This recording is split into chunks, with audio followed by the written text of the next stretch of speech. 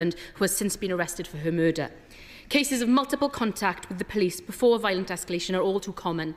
Labour will mandate domestic abuse and wider violence against women and girls training for every police officer in the country and we'll introduce Raneem's law to overhaul the policing response when reports are first made. So I ask the Minister, how many more women will have to die before the government can do the same? Yes. Minister. Well, the Honourable Lady is right to mention the case of Kulsuma Akter. It, it is appalling what happened to her. I obviously can't comment on any specifics in relation to the case, but she will know that the bail conditions that the perpetrator um, had been released under contained restrictions that were breached themselves. So it was not a case of the court refusing to apply conditions, it is that he breached them. In relation to her wider point, Of course, every single one of these cases is a tragedy. She will know because we've worked on a cross-party basis in the past how much time and attention we dedicate to this at the Home Office. But I will sim simply say this. We now have domestic abuse training that has been rolled out to over 80% of forces. The Home Secretary and I are working very, very closely with the nine outstanding ones. They are on a timetable for delivery. I want to reassure her of that. And we now, this month, have specialist trained uh, rape uh, specialists in every single police force in England and Wales. Tim Law. Number three, sir. Minister. Thank you. Uh, look, I thank my right honourable friend enormously for raising this question. Let me be quite clear that the hostile activity we've seen from Chinese authorities and state-affiliated groups poses a serious threat to the security and well-being of the British people and to our partners and allies across the world. The Deputy Prime Minister came to this chamber last month to speak about the pattern of malign activity, including the targeting of our parliamentarians and two malicious cyber campaigns by, by Chinese state-affiliated actors. We must never be afraid to stand up for ourselves and to call out this kind of activity that has targeted both him and me. Tim Loughton. Uh, Mr Speaker, can I add my personal condolences for your father's losses as well? Uh, can I say to my um, right honourable friend that, of course, we had the scandal about the hacking of MPs' uh, email accounts uh, back in March. We subsequently learned that the FBI had informed our government about this incident two years ago, as well as other foreign governments who had legislators uh, who were also affected. Why has it taken two years for us to be told about a serious security uh, breach? And will he now, with his colleagues in Cabinet, make sure that China is absolutely treated as and labelled as a threat and not just an epoch defining systemic challenge, and everything is done urgently to put China in the enhanced tier of the foreign influence registration scheme. Yeah, yeah. Minister. My right honourable friend, who's given this House and our country uh, exceptional service over many years uh, and will sadly be standing down in the next election, has made again some very, very strong uh, points. The first of which is that he knows the language that I use and he's heard the words that I've said. The reality is that we face threats from around the world and many of them, sadly, are emerging out of Beijing today. We know this, we've seen it, and many of us in this House feel it. So this is not something that we're shying away from. The reality, however, is that there are many different ways of answering it. Now, he's raised a very important aspect on FIRS, and that's something that, of course, is being looked at. But he will have heard the words of the Deputy Prime Minister in this chamber only a few weeks ago, and how clearly he made himself heard. Yeah. Chris Bryant. I'm sorry. sorry, but I'm not convinced by the government's attitude on this. When the Deputy Prime Minister came to see us a few weeks ago, he didn't say anything new. He announced things about events that had happened two years ago, but the member himself knows of attempts by the Chinese government to undermine the work of the Foreign Affairs Committee of this House. Um, why, why are we only ever told about things that happened years ago? If we're surely to take these issues seriously, We have to have an up-to-date and present account of the, uh, the activities of the Chinese state. Minister. The right honourable member will know very well that when there is a reason to act quickly and to draw it to the attention of the House, we do, as is the case of Christine Lee, which you will remember involved the payment of money to a certain uh, member of this House, and the reason why we took that action was because, of course, we needed to expose it fast. Senator Minister Dunn Thank you, Mr Speaker. The Biometrics and Surveillance Camera Commissioner said last year that our policing and security services were technologically vulnerable because of their use of Chinese-made equipment, including CCTV, drones and body cameras. So, can the Minister say whether the digital asbestos of Chinese made technology is still used in our policing and security infrastructure? Yes or no? Minister. My honourable friend will know very well that uh, the work of Mr Fraser last, when, before he retired last year or ended his mandate last year has been absolutely fantastically important to many of us in making sure, and I approve the term digital asbestos, uh, is got out of our institutions. This is something that's ongoing, so it's got out of the most secure sites already, but there are other areas where there is work to do, because of course there were an awful lot of sites, I'm afraid, which bought technology, which would now be problematic. Of course, it's not just static sites. There is, of course, the potential that some uh, electric vehicles could be easily turned into mobile intelligence gathering platforms by hostile states. And so it's not simply about looking at the past, but also at the future. I respect. Question for Sir. Minister.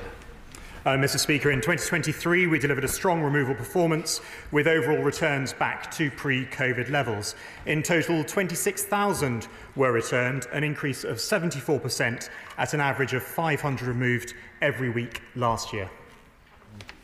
I'm grateful to the Minister's response.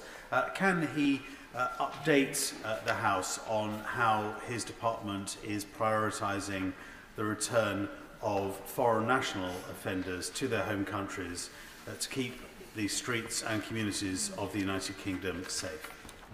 Minister. Well, Mr. Mr. Speaker, may I firstly pay tribute to my honourable friend and the work that goes on in his constituency, uh, because as he knows, I visited Gatwick recently and saw for myself uh, the good work of the, the Border Force team were doing there, and he'll be pleased to know that removals of foreign national offenders were up last year by 27%, and that we're committed to the removal of foreign criminals and those with no right to be in the United Kingdom. Yes, come on. Thank you, Mr Speaker. On that point, I sadly see many asylum seekers in Newport who are stuck in limbo due to this government's incompetence. However, can I draw the Minister's attention to the case of a man in Newport who lied about his name and country of origin, is a convicted sex offender who's breached the terms of his licence and the courts want him returned home. He wants to return home and will even pay for his flight, but for some unfathomable reason, um, the, the Home Office seem incapable of allowing or authorising or allowing this. And it's been three years. Why? Amazing. Well, in, in, the removals were increased last year. It's interesting to note that those on the, of the party opposite have campaigned to ensure that they're preventing the deportation of foreign criminals, including the leader of the Labour Party. Those on this side of the House are determined to see foreign criminals removed, and there was an increase in removal of 74% last year. Shadow Minister Stephen Kinnock. Yeah. Yeah. Yeah. Thank you, Mr Speaker. Under successive Conservative governments since 2010, returns of failed asylum seekers have collapsed by 44%, and returns of foreign national offenders have fallen by almost 30% over the same period. And for all the government's tough talk, only 2% of those arriving on small boats since 2018 have been returned anywhere, yet ministers are still resisting Labour's plan for a new returns and enforcement unit to ensure the swift removal of those with no right to be here. Meanwhile, more people crossed the channel in small boats over the weekend than will be covered in the entire first year of their failing Rwanda scheme. So will the minister stop the headline chasing gimmicks and instead commit to setting out what his plan is for the 99% of people who are currently stuck in the asylum system who will never be sent to Rwanda? Yeah. Well, well, Mr Speaker, the fact of the matter is that nearly 18,000 foreign national offenders were returned between January 2019 and December 2023. The fact of the matter is members of the party opposite, including the leader of the Labour Party, have campaigned to prevent the deportation of foreign criminals, while those on this side of the House welcome an increase of 74%, an average of 500 people being removed every single week. Andrew Western. Question five, Mr Speaker. Minister. Uh, thank you, Mr Speaker. Well, I'm very happy to uh, remind the House that we now have record, uh, we reached record numbers of police officers last year, in excess of 149,000, over 3,000 more than the previous peak under the last Labour government. And in terms of local policing, we achieved 67,785 as of March last year. I think the Minister might want to group them.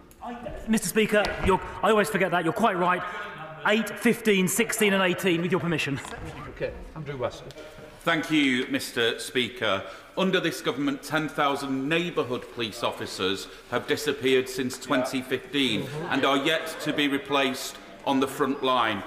Given this government's proclivity for lifting Labour's policies, could I gently encourage the Minister to adopt Labour's plan to recruit 13,000 new neighbourhood police officers, allowing for a named contactable officer in every ward in the country? Well, the honourable member is using figures uh, which go up to 2019. Uh, the reason he's using figures, of course, that are five years out of date is the numbers have gone up since then. And if you take neighbourhood policing as a whole, it's gone up from 61,083 in 2015. That's the year he mentioned. It's gone up 61,000 up to 67,785. That's an increase of 6,000. And I'm surprised he's not joining me in welcoming it. Virginia Crosbie. Thank you, Mr Speaker. Antisocial behaviour has been a big problem in Holyhead. Almost £700,000 of UK government Safer Streets funding has been used for CCTV, improved lighting, self-defence training for local women and girls, delivering crime prevention packs and outreach work. Would the Minister join me in thanking Chief Inspector Robert Rands, PC Lisa Thomas and many others who work so hard to improve the lives of people who live and work in Holyhead? Well, I would certainly like to join her in thanking those officers and countless thousands of others around the country who do such good work. But on ASB, in addition to the Safer Streets money the my honourable friend mentioned, we are, uh, from the beginning of this month, funding an extra 66, 66 million pounds uh, to do antisocial behaviour hotspot patrolling. Every single one of England and Wales's police forces will get that, and that will make an enormous difference to combating the scourge of ASB. Paul Howell. Thank you, Mr Speaker. Would the Minister agree with me that getting extra officers out in our community should be the top of the list for any PCC? Unfortunately, in Durham, we see the Labour PCC more interested in increasing her back office staff and overseeing a declining in standards with the latest Peel report showing two, hour, two areas requiring improvement for the first time ever in Durham. Would he agree with me that the sooner we get an ex-beat cop like the Conservative candidate Rob Potts in place, the sooner Durham will return to being an outstanding police force? Well, I completely agree with my honourable friend. Uh, spending money on things like flower beds and diversity staff instead of frontline police officers is the wrong priority. And I know that former frontline officers like Rob Potts running for PCC in Durham will do a good job of getting priorities straight. Debbie Abrahams. Thank you, Mr Speaker. Kulsuma Akter, who is from Oldham, was murdered by her estranged husband on a busy Bradford street in the middle of the day in front of their baby son. Research has repeatedly shown that regular foot patrols, especially in crime hotspots, leads to reduced offending and increased public confidence, particularly if combined with community-based prevention. Greater Manchester Police and West Yorkshire Police want to learn lessons from this tragic murder what lessons has the Home Secretary learned about reducing neighbourhood policing and the prevalence of appalling crimes like this? Well, this is obviously a, a tragic case, and we'll obviously study any findings by the IOPC very, very carefully uh, indeed. She mentioned hotspot patrolling, and I mentioned in my last answer that the government is providing £66 million this financial year on top of the regular police funding settlement to fund hotspot patrolling, which I think may help in situations like these. Um, but just to repeat the point I made previously uh, about the local policing, local policing numbers since 2015 have gone up by about 6,500 and, and, and selectively quoting figures that are five years old does nothing to help public debate. James Morris. Thank, thank you, Mr Speaker. Halesowen Police Station is under threat of closure from decisions taken by the Labour Police and Crime Commissioner for the West Midlands. And Tom Byrne, the Conservative candidate for PCC, has says that he will stop that closure programme. So would the Minister agree with me and Tom Byrne that keeping Halesowen Police Station open is critical for community confidence and for the effectiveness of neighbourhood policing? Minister. Yes, I would agree very strongly. Uh, the Labour PCC's police station closure plans in the West Midlands are shocking. I note that West Midlands Police this year are getting an extra £50 million That is a 6.8% increase, well above the rate of inflation. And I think uh, Tom Byrne would do an excellent job making sure that maintains frontline services, which is exactly how that money should be spent. Mary Glindon. Thank you, Mr Speaker. Northumbria Force has lost 1,100 officers and £148 million pounds from its budget since 2010 and even after the uplift Northumbria remains 427 officers short when com compared to 2010 levels. Will the Minister support the call by Northumbria's PCC Kim McGuinness for further investigation into police resources as clearly not all areas of the country have benefited equally from the uplift programme? Yeah, yeah. Minister. Well, I'm, I'm pleased to tell the House that the Northumbria Force uh, this financial year, the year that started just a couple of weeks ago, their funding is going up by 28 uh, million pounds. That is a 7.6% increase, uh, over double the rate of inflation. So the resources are there. Using those resources wisely is a matter for police and crime commissioners. And, Mr Speaker, it tends to be Conservative police and crime commissioners who spend those resources most wisely. Ruth Cadbury. Okay. Thank you, Mr Speaker. Seven. Seven. Oh, sorry, question seven, Mr Speaker. Secretary. Uh, Mr Speaker, violence and abuse towards shop workers is not and will never be acceptable. Last October, the police published a retail crime action plan. The government has embraced that and enhanced it. Last week, we launched the Fighting Retail Crime uh, Action. Amongst other measures, it includes a commitment to create a new offence of assaulting a retail worker, something the sector has been calling for. Ruth Cadbury. Thank you, Mr Speaker. Last week I met a shopkeeper in Hounslow who's been repeatedly targeted by shoplifters. The family who own the the, the, the, the family who own the shop can't afford security guards or to lose a large amount of stock, unlike the big chains. It's welcome the government has finally backed Labour's 10-year campaign, along with USDOR and other campaigners, to introduce a standalone offence of assault against a shop worker. But will the minister go further and scrap the unfair £200 limit, which leaves offenders getting away with impunity? Secretary. Uh, Mr Speaker, it is still a criminal offence, irrespective of the uh, financial value of what uh, is, uh, is taken. Uh, we have made it clear of our commitment to ensure that shopkeepers uh, are protected and that the retail environment is safe. That is why we have put funding in place, which has put more police officers on the streets. That's why, as my right honourable friend has just mentioned, uh, neighbourhood policing numbers are up. That's why we have committed to pursue uh, that we have sorry committed the police to pursue all reasonable lines of inquiry, and that is why I'm very proud that we have put in place a specific criminal offence for assault against a retail worker. For our high streets to thrive, people need to perceive them as safe places to be, but there's real concern that the Mayor of London is failing to get the Met to take retail crime seriously enough. So does he agree that we need a new Mayor for London, Susan Hall, to ensure we have more effective policing in our high streets? Home Secretary. Uh, quite, quite frankly, uh, Mr Speaker, uh, the Mayor of London has been a massive disappointment oh, when it has come to the policing uh, of, uh, of London. Uh, it is the only police force in the country which is seeing its police numbers uh, reducing. It has failed to meet its recruitment uh, targets. And quite frankly, Mr Speaker, Londoners deserve better.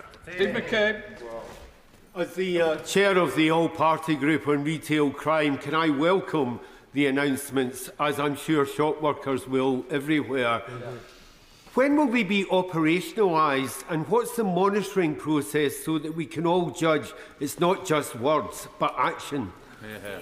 Home Secretary. Uh, Mr. Speaker, the uh, honourable gentleman makes an important point. We are putting it through as amendments to the Criminal Justice Bill. Uh, the quicker that that makes its passage through the House, the quicker we can put these specific changes in place. But we're not waiting for that. We've had conversations with police forces to make sure that there is visible policing on our high streets, that they respond to every reasonable uh, line of inquiry so that they send the signal to the retailers and also to potential criminals that we take this incredibly seriously and that they will respond to this important crime type. Because Thank you, Mr Speaker. Uh, I realise the Home Secretary may be sick of hearing from me about assaults on retail workers, but I welcome the huge uh, and comprehensive package announced last week and well, well, last week to support these people.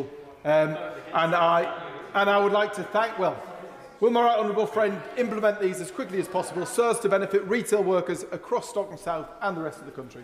Yeah. Home Secretary. Mr Speaker, can I pay tribute to my honourable friend who has campaigned vigorously on this and has met with me on a number of occasions to go through the specifics of these uh, proposals, working closely with my right honourable friend, uh, the uh, Secretary of State for Justice, to make sure that both the policing response and, of course, the criminal uh, response uh, send a very clear deterrent message to those people who might be tempted to assault retail workers. It is not acceptable and we will take action. Shadow Minister Farrell Clark. Yeah, yeah. yeah, yeah. yeah. Thank you, Mr Speaker. Mr Speaker, in January, the government voted down our, last, our latest attempt to introduce a standalone offence tackling violence against retail workers. This continued a pattern of years of failing to address this issue while such violence reached epidemic proportions. And last week, surprise, surprise, they U-turned on this, and, and an offence is now to follow. When are the government going to follow this up by stealing uh, the other ideas they keep denying, a restoration of neighbourhood policing, and actual, not the response officers they've been talking about, proper neighbourhood policing, Yeah, yeah. which is down between 2015 and 2023, and getting rid of the £200 limit. Yeah, Home Secretary. Mr Speaker, uh, those people in the House should recognise that uh, just because a clause might have a similar sounding name does not mean it is the same. The simple truth of the matter, the simple truth of the matter is the clause that the opposition uh, put forward was deficient in many ways. The clause that we have put forward into the criminal justice bill will address the issue. And when it comes to local when it comes to local policing, she should recognise that there has been a 6,000 uplift in local policing. Question number nine, please, Mr Speaker. Mr Speaker, last year we launched the Antisocial Behaviour Action Plan backed by £160 million worth of funding. Over 100,000 hours of police and other uniform patrols undertaken, targeting ASB hotspots, extended to every single uh, police force in England and Wales. We banned nitrous oxide, increased the fines for fly tipping, littering and graffiti, and we are strengthening powers to tackle, to tackle antisocial behaviour through the Criminal Justice Bill making its way through the House. Justin Madders. Thank you, Mr Speaker. One of the aspects of antisocial behaviour that really uh, annoys my constituents is persistent cannabis smoking from people inside their own homes, particularly in blocks of flats, but not exclusively. However, when I raise this with the police, they tell me that they're not going to go into people's homes and deal with it. I don't think that's good enough, does the Home Secretary? Home Secretary. I think. Mr. Mr. Speaker, the police, And I've had this conversation with police uh, leaders from around the country.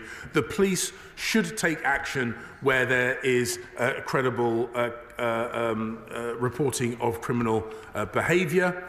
Uh, and, uh, and that is a conversation we will continue to have with police. People need to be safe, but also feel safe in their communities and in their homes.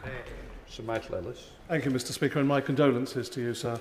Uh, protesters who recently created an obnoxious stunt outside the home of the leader of the opposition belong in jail, as do the trust fund vandals who caused tens of thousands of pounds worth of damage outside the Ministry of Defence last yeah. week. Yeah. The truth is that frontline politicians of any political hue and our military personnel are prepared to put themselves forward to serve and protect this country, a concept the vandals, of course, would know nothing about. So when it comes to this type of antisocial behaviour, will my right honourable friend, the Home Secretary, look at increasing visibility? A couple of points there. Firstly, uh, it is completely unacceptable to try and intimidate parliamentarians of whatever political hue. And I, and I know that, um, that, that I, will stand I will stand shoulder to shoulder uh, with parliamentarians of whichever political party in defending parliamentarians' right to do and say what they believe to be in the best interests of their countries and their communities without fear of intimidation. That is an absolute red line and it will be enforced. These, um, uh, these petulant These petulant acts or vandalism in the name of protests are unacceptable when criminal damage occurs that will be pursued. And indeed, in the Criminal Justice Bill, we're making specific actions to take away this veneer of defence that somehow it is justified criminal behaviour in, in, uh, uh, because people aren't getting their way at the ballot box. Thank you, Mr Speaker. Too many residents in Nottingham South tell me that antisocial behaviour is making their lives a misery. They never see uh, a Bobby walk in the streets. And under the law-breaking Tory Police and Crime Commissioner, yeah, yeah. Nottinghamshire Police has been placed in special measures with HMIC saying yeah. that the force is letting victims down.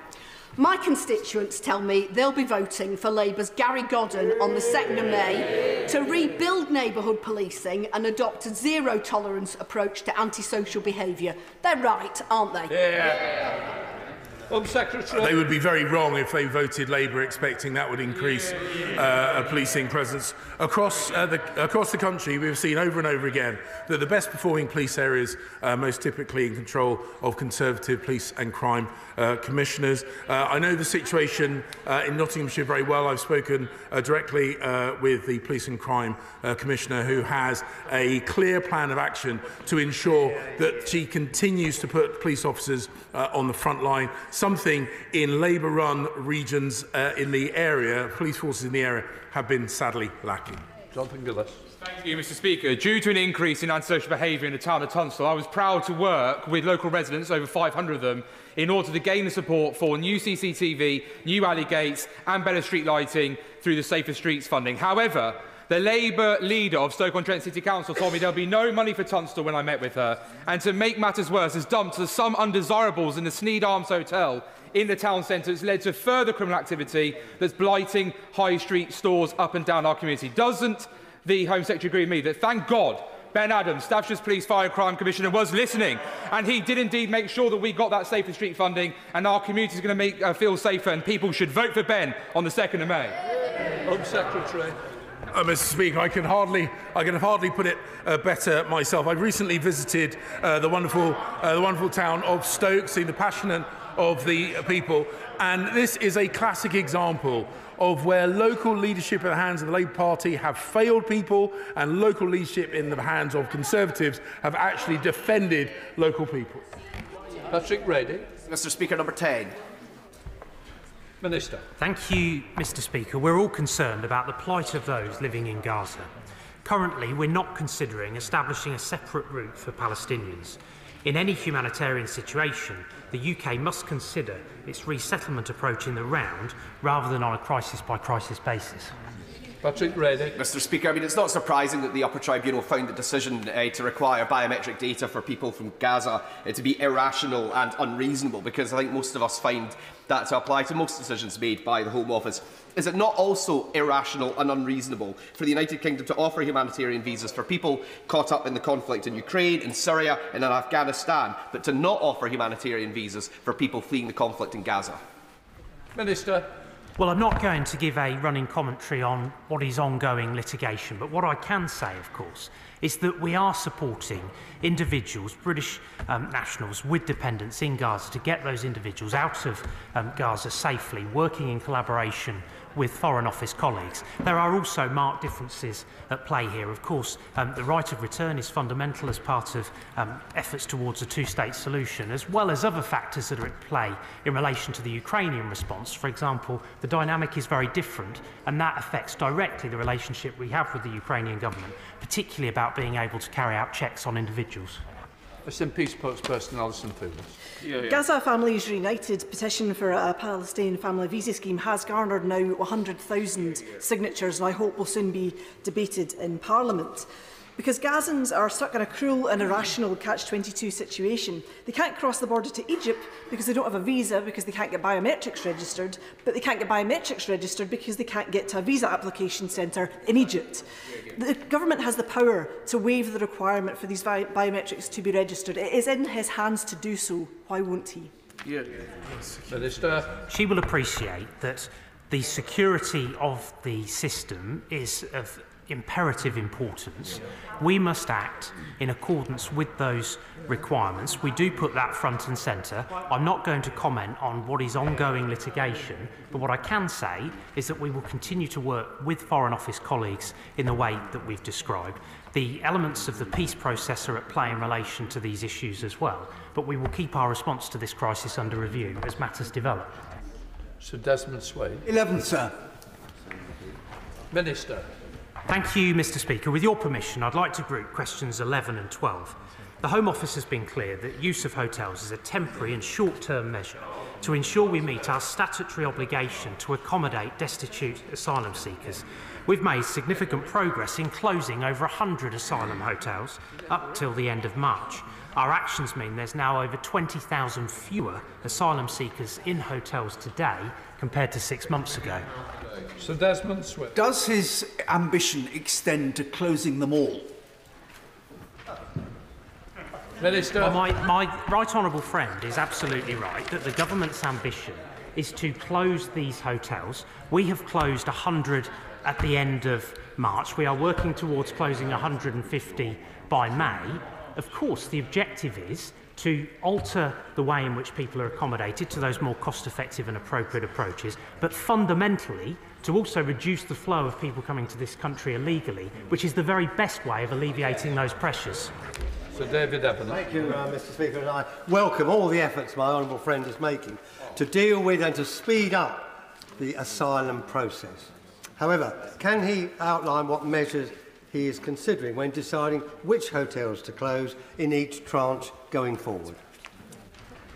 My um, right honourable friend will recognise that value for money is obviously a very um, critical consideration that informs hotel closure decisions, but also operational deliverability, the notice periods on contracts, but also recognising the needs in particular locations and some of the challenges that these sites present. We've got a plan, we are closing hotels and we're going to continue to deliver on precisely what we promised. Toby Perkins. Thank you uh, very much, uh, Mr Speaker. The Sunpiper Hotel in Chesterfield has for almost two years now been being used uh, as a uh, hotel in, in this uh, way. Uh, when I've spoken to Derbyshire Refugee Support Group, they tell me not a single one of the people who stayed there has been, uh, has been asked to uh, go back to their country, and in fact, the vast majority of them have been approved, uh, which undermines the government's own sense that actually all of these uh, asylum seekers aren't entitled to be here. Actually, the government are improving the vast majority of them. So what a waste of money uh, it is. Uh, why does the government continue to fail in this way? And for the minister to come there there and now sort of celebrate the extraordinary usage just because it's diminishing slightly is hopeless. When will we get the sandpiper back in public use?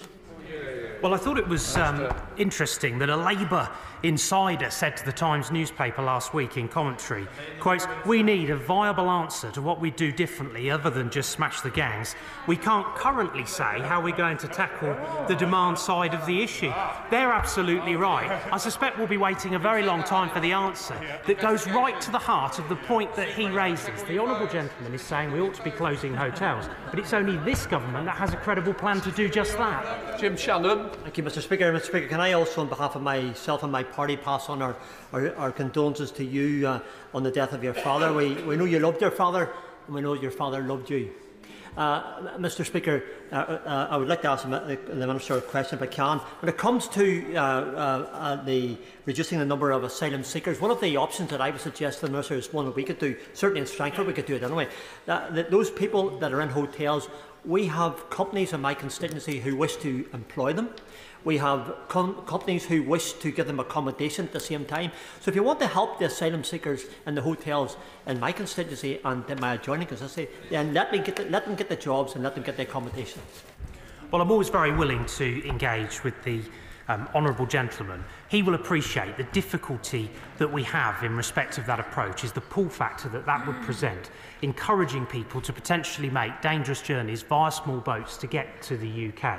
We do not want to do anything that plays into the business model of the evil criminal gangs responsible for that miserable trade. What we want to do is put them out of business. But on the wider accommodation point, I'm very happy to engage with him.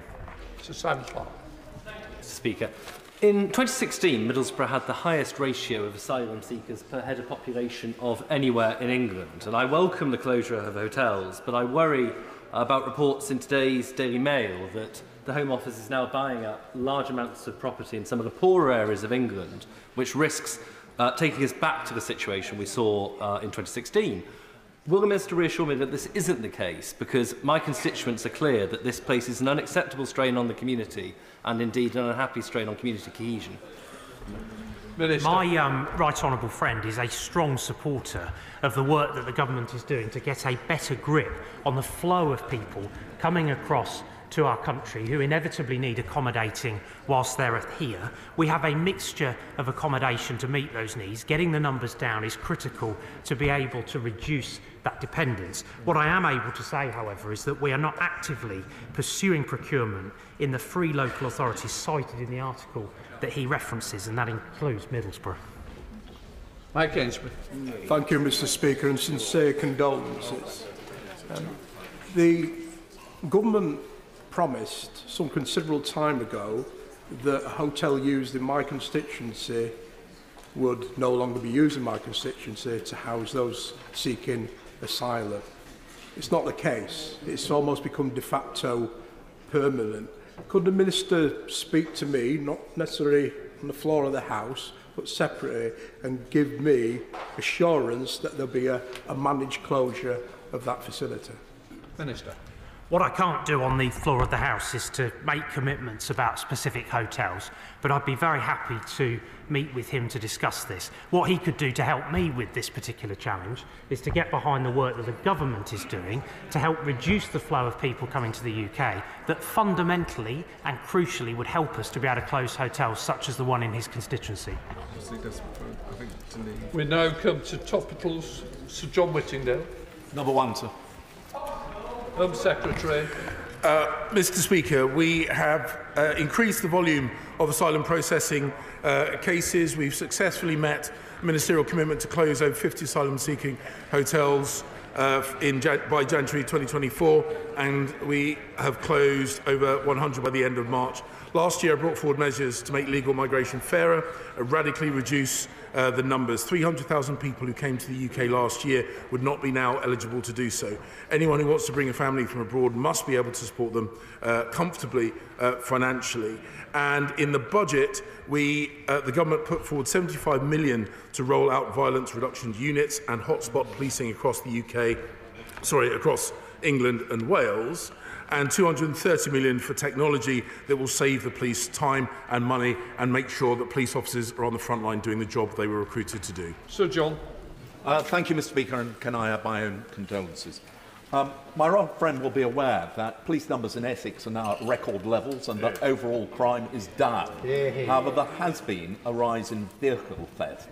Will my right friend therefore welcome the efforts of our excellent Police, Fire and Crime Commissioner Roger Hirst in establishing a stolen vehicles intelligence unit which has so far recovered £14 million worth of vehicles and will he look at what further support can be given to him to tackle this uh, crime?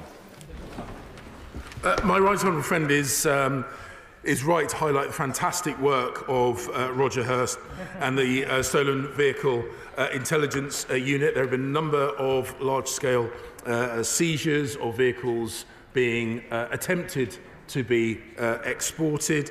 Uh, this government has reduced vehicle-related crime by 39% since 2010. Uh, through the Criminal Justice Bill, we seek to go further. But innovative approaches, like the one put forward by Roger Hirst, is exactly what we want to see more of, and that is why I am very proud to campaign alongside him, uh, because he has done fantastic work protecting the people of Essex. Shadow Home Secretary Yvette Cooper. Yeah. Mr Speaker, I remember the, the kindness your father showed me in our long discussions on rugby league and add my condolences too. And 35 years ago to the hour was the Hillsborough tragedy. And we remember the 97 who were lost and support the family's campaign for a Hillsborough law. Yeah. Mr Speaker, we strongly condemn the attack by Iran on Israel this weekend and we must do everything we can to prevent further escalation in the Middle East. But there are also domestic security issues over Iran. The Iran International journalist Pouria Zeraati was attacked on the streets of London a few weeks ago following repeated Iran-related security threats on British soil, including threats to kidnap and to kill. Does the Home Secretary believe it is now time to prescribe the IRGC in the UK? Yeah. Secretary. Uh, Mr Speaker, the Right Honourable uh, Lady will know that we keep our uh, response to Iran consistently under review, and of course, we have done so in the light of the attacks uh, in Wimbledon. Um, but she will also know that we do not uh, speculate about future designations or uh, sanctions, but she will also know the IRGC is sanctioned it's in, in its entirety. A number of members of the IRGC are sanctioned as individuals. As she knows, we will keep this constantly under review. Yvette Cooper. The Home Secretary will know we have raised this uh, many times, and I understand the complexity of the issue. The prescribing legislation was drawn up over 20 years ago to address then terrorist threats like Al Qaeda rather than state sponsored threats where there might be both domestic and international security objectives. But our bottom line must be keeping this country safe, and that's why Labour has proposed new security legislation to allow the government to put appropriately targeted targeted prescription-style restrictions on the operations of state-linked organisations like the IRGC. The government previously resisted this, but will he look at this again in the light of recent events and work with us on any legislation needed to keep this country safe? Yeah. Home Secretary. Uh, Mr Speaker, we have the National uh, Security Act and we have a range of tools at our uh, disposal.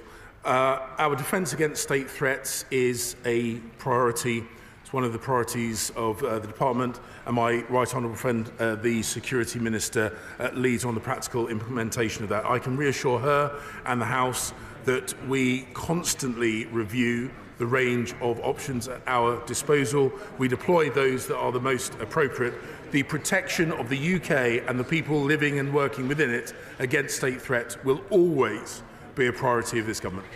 Philip Hollobone. Will my right honourable friend, the Minister for Crime and Policing, support the excellent initiative of a number of Conservative police and crime commissioners to include filling in potholes as part of the Community Payback Initiative for convicted offenders? And will he apply pressure on the Ministry of Justice to get this up and running as soon as possible? Well, I think my honourable friend, the member for Kettering, uh, has raised an excellent idea. It has my enthusiastic support, and I will most certainly do exactly as he asks straight away. Sarah Dyke. you, Mr Speaker, and my condolences to you. Uh, the former Chief Inspector of Borders and Immigration recently produced a report that stated 275 certificates of sponsorship were granted to a company that used forged documents purporting to be a real care home. Clearly, failures like this from the Home Office leave people at risk of exploitation and modern slavery. So what steps is the Minister taking to make the system more robust and to protect vulnerable people who come here to work in our care system? Minister. Well, I'm grateful to the Honourable Lady for that question, and we um, responded within the eight-week deadline to that um, ICIBI report. We accepted the recommendations that were posed to us in it. We are working through those recommendations, but there was already work in train, particularly working in collaboration with the Care Quality Commission to have better accreditation practices around um, care providers when we're matching people to those visas. Thank you, Mr Speaker. Outdated laws are allowing child sexual predators uh, and offenders to enter or leave our country whilst in possession of illegal material on their digital devices because the border force do not have the power to access them. Would my right honourable friend work with his colleagues in the Ministry of Justice to consider the merits of a new offence of willful obstruction under which an individual could be prosecuted if they fail to unlock their devices so, if, so they can be properly searched? Minister. Well, I thank the Honourable Lady for her work in this area. The issues she raises are of direct importance to intelligence gathering and child protection. My officials have been working closely with Border Force to ensure that their powers keep pace with the digital age. When the next legislative opportunity arises, if not before, we will carefully consider Border Force powers to compel individuals to submit to searches of their devices if they're suspected of holding child sexual abuse material. Toby Perkins. Thank you, um, uh, Mr Speaker. The murder of Gracie Spinks uh, in Chesterfield sent shockwaves through the town and the report into Derbyshire Policing's the Derbyshire Police's handling of that uh, was uh, a very salutary uh, and, and desperately unhappy situation. Uh, there is still far too much inconsistency into how stalking and violence uh, against women uh, is handled. So will the Home Secretary uh, back Labour's plan to bring in mandatory national standards uh, and mandatory training on violence against women so that we see consistency on stalking policing right across the country? Uh, Mr Speaker, I can reassure the honourable gentleman and the House uh, that under my leadership, the Home Office and policing across the UK will maintain its focus on preventing violence against women and girls. Uh, we do have a rollout of guidance and training for the policing of women and girls. I will take his uh, proposals. I will listen carefully to the proposals he's put forward because we want to make sure that women and girls in the country feel safe. government champions fantastic animal welfare standards. Yeah. My constituents would like to see alternatives to animal testing wherever possible and would be keen to hear a vital update from the department. Yeah. Minister. Well, given the interest will be about switch in this House to uh, a different matter, I'll be very brief and promise to write to her, but she should know that this government has already doubled the spending on finding alternatives to animal testing and will continue to make sure that the inspection regime is as strict as possible to make sure that when animals need to be used, the conditions are as humane as possible. Mr Madders. Thank you, Mr Speaker. Can the Home Secretary tell us the level of auditing that will take place in relation to the hundreds of millions of pounds being spent to, sent to Rwanda? And in particular, can he guarantee that no UK taxpayers' cash will either directly or indirectly be used to fund the M23 militia in the Democratic Republic of Congo?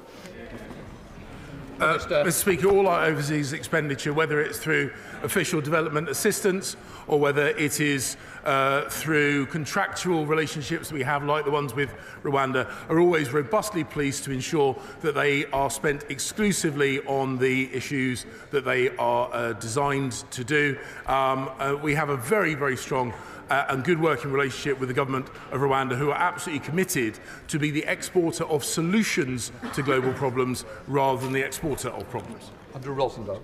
Uh, Mr Speaker, sir, the, the people of Romford are angry. They're not getting the police cover from the Mayor of London that we pay for. We're seeing a crime wave across Romford in Gidea Park, a stabbing in the town centre. We have had enough. Will the Minister please ensure that there is reform so that Essex towns like Romford actually get the service that Roger Hirst gives to the people of the historic county? Well, he is quite right to draw the contrast between the excellent work done by Roger Hirst in Essex with the appalling job being done by Sadiq Khan in London. Sadiq, Sadiq Khan is the only one of the 43 police and crime commissioners to have missed his recruitment targets, and tragically, tragically, police officer numbers in London are falling by contrast to the rest of the country. Londoners will have a chance to cast their vote on May the 2nd, and I hope they kick him out. Thank you, Mr. Speaker. Um, my constituent, Maisara, is a British citizen and his parents live in Gaza. His parents successfully applied for visas to visit him in autumn last year, but they were unable to travel after October the 7th and their visas expired. I contacted the Home Office on Maisara's behalf to ask if these visas could be extended, and I was told they would have to make new applications. There are, however, of course, no functioning visa application centres in Gaza, so can the Minister explain what exactly my constituents' parents should do? Home Secretary. Uh, Mr Speaker, I'm more than happy to look at the details of the case. Of course, he has to understand that just as uh, the circumstances on the ground changed dramatically after Hamas's brutal mass murder rampage on the 7th of October. Our posture and our security posture, for that reason, has got understandably to be enhanced. This is not me making any implications about his constituents' family, but he and the House will understand that we must be careful in everything we do when it comes to accepting uh, uh, people who are leaving Gaza in these circumstances. That completes Home Office questions. We now come to the statement. I now call the Prime Minister. Mr Speaker, before I start, I'd like to express my deepest sympathy, and I'm sure that of the whole House, on the death of your father. He, he was a true giant, not just of this House, but of the other place too. I also want to express my solidarity with our Australian friends after the horrific and senseless attacks in Sydney in recent days. Our thoughts are with all those affected. Mr Speaker, on Saturday evening, Iran sought to plunge the Middle East into a new crisis. They launched a barrage of missiles and attack drones over Iraq and Jordan and towards Israel. The scale of the attack and the fact that it was targeted directly at Israel are without precedent. It was a reckless and dangerous escalation. If it had succeeded, the fallout for regional security and the toll on Israeli citizens would have been catastrophic. But, Mr. Speaker, it did not succeed. In support of Israel's own defensive action, the United Kingdom joined a US led international effort, along with France and partners in the region, which intercepted almost all of the missiles, saving lives in Israel and its neighbours. We sent additional RAF Typhoons to the region as part of our existing operations against Daesh in Iraq and Syria. And I can confirm our forces destroyed a number of Iranian drones. We also provided important intelligence, surveillance, and reconnaissance support for our partners. Mr. Speaker, our pilots put themselves in harm's way to protect the innocent and preserve peace and stability. I spoke to the RAF earlier today. They are the best of the best, and I know the whole House will join me in expressing our gratitude. Mr. Speaker, with this attack, Iran has once again shown its true colours. They are intent on sowing chaos in their own backyard, on further destabilising the Middle East. Our aim is to support stability and security because it is right for the region and because, although the Middle East is thousands of miles away, it has a direct effect on our security and prosperity at home. So we are working urgently with our allies to de escalate the situation and prevent further bloodshed. We want to see calmer heads prevail and we are directing all our diplomatic efforts to that end. Yesterday, I spoke to my fellow G7 leaders. We are united in our condemnation of this attack. We discussed further potential diplomatic measures, which we will be working together to coordinate in the coming days. I will also shortly be speaking to Prime Minister Netanyahu to express our solidarity with Israel in the face of this attack and to discuss how we can prevent further escalation. All sides must show restraint. Mr. Speaker, our action reflects our wider strategy in the Middle East, which I have set out in this House previously. I believe there are three vital steps to put the region onto a better path. First, we must uphold regional security against hostile actors, including in the Red Sea, and we must ensure Israel's security. That is non negotiable. It is a fundamental condition for peace in the region. In the face of threats like we saw this weekend, Israel has our full support. Second, we must invest more deeply in the two state solution. That is what we have been doing over the past six months, including working closely with the Palestinian Authority, so that when the time comes, they can provide more effective governance for Gaza and the West Bank. Mr. Speaker, it is significant that other regional partners actually helped to prevent a much worse attack over the weekend. It reminds us how important the attempts to normalise relations between Israel and its neighbours really are, and it holds out precious hope for the region. Third, Mr. Speaker, the conflict in Gaza must end. Hamas, which is backed by Iran, started this war. They wanted not just to kill and murder, but to destabilize the whole region. This weekend, they rejected the latest hostage deal, which offered a road to a ceasefire. It is Israel's right, and indeed its duty, to defeat the threat from Hamas terrorists and defend its security. And I want to be clear nothing that has happened over the last 48 hours affects our position on Gaza. The appalling toll on civilians continues to grow, the hunger, the desperation, the loss of life on an awful scale. The whole country wants to see an end to the bloodshed and to see more humanitarian support going in. The, re- the recent increase in aid flows is positive, but it is still not enough. We need to see new crossings open for longer to get in vital supplies. And, Mr. Speaker, I want to take this opportunity to pay tribute to the three British aid workers who were killed in Gaza John Chapman, James Kirby, and James Henderson. They were heroes. The children of Gaza, who they were risking their lives to feed, need a humanitarian pause immediately, leading to a long term sustainable ceasefire. That is the fastest way to get hostages out and aid in, and to stop the fighting. Israelis and Palestinians alike deserve to live in peace, dignity, and security, and so do people across the entire region. In conclusion, Mr. Speaker, Saturday's attack was the act not of a people, but of a despotic regime. And it is emblematic of the dangers that we face today. The links between such regimes are growing. Tel Aviv was not the only target of Iranian drones on Saturday. Putin was also launching them at Kiev and Kharkiv. And who was the sole voice speaking up for Iran yesterday, seeking to justify their actions? Russia. The threats to stability are growing, not just in the Middle East, but everywhere. And we are meeting those threats time after time, with British forces at the forefront. It's why our pilots were in action this weekend. It's why they have been policing the skies above Iraq and Syria for a decade.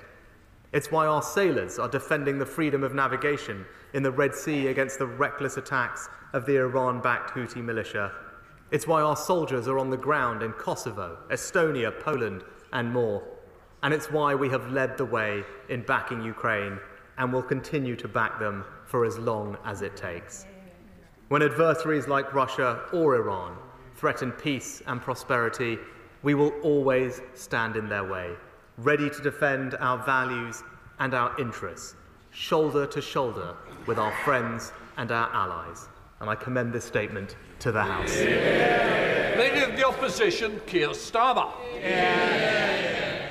Thank you, Mr Speaker. I'd like to thank the Prime Minister for advance copy of his statement and for the regular briefings on the developing situation in the Middle East.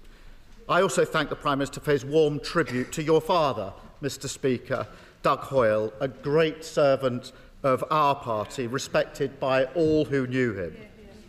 I also join the Prime Minister in offering our solidarity with the victims of the horrific attack in Sydney and in recognising the heroism of the three British aid workers killed in Gaza while working for World Kitchen.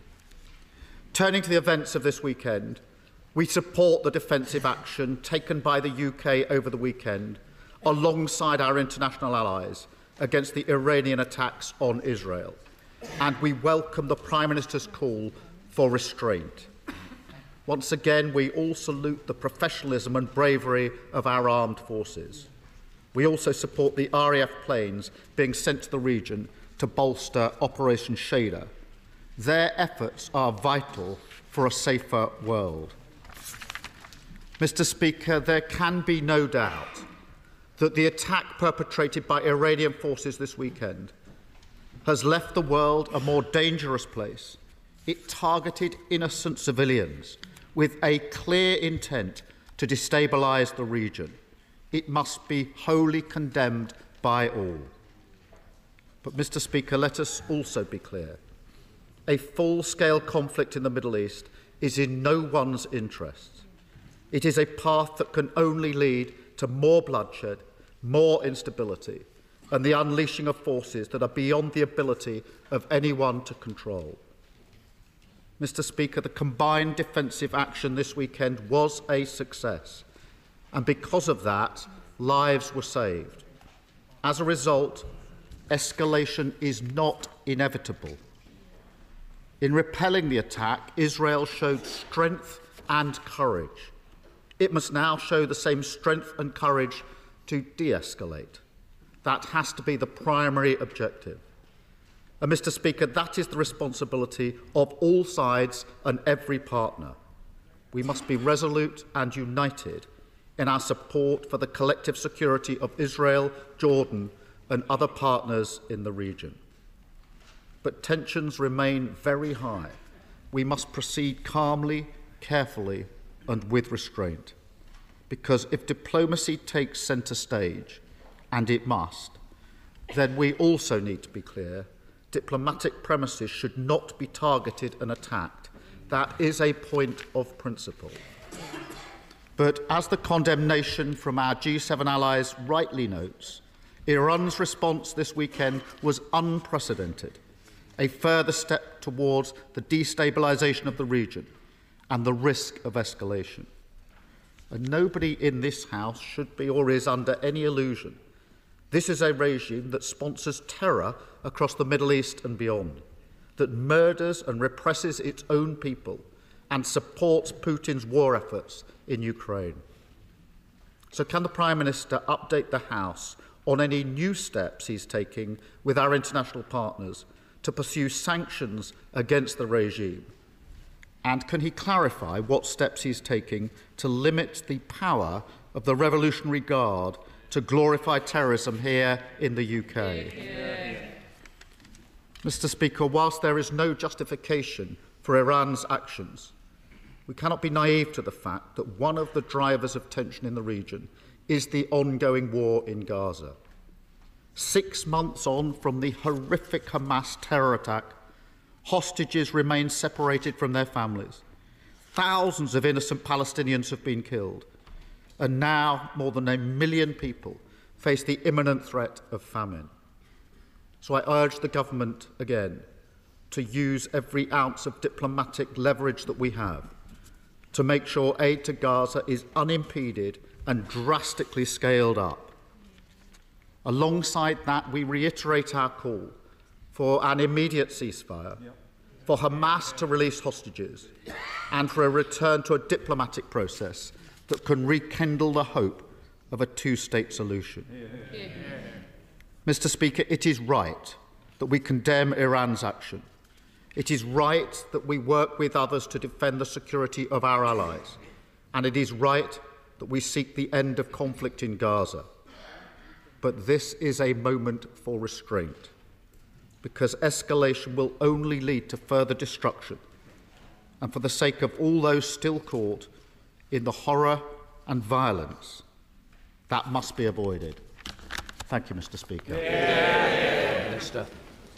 Uh, Mr. Speaker, I thank the right honourable gentleman for his support of the government's actions. Uh, with regard to what might happen going forward, ultimately Israel has a right to self-defence, as any state does, and the G7 leaders spoke yesterday and unequivocally condemned Iran's attack and expressed full solidarity and support to Israel and its people. Uh, but as the Foreign Secretary said this morning, this is a time to be smart as well as tough. Uh, Iran, Israel has successfully repelled incredibly successfully repelled the Iranian attack, and Iran is even more isolated on the world stage. And as others have said, we would urge them to take the win at this point. We want to avoid further escalation and bloodshed.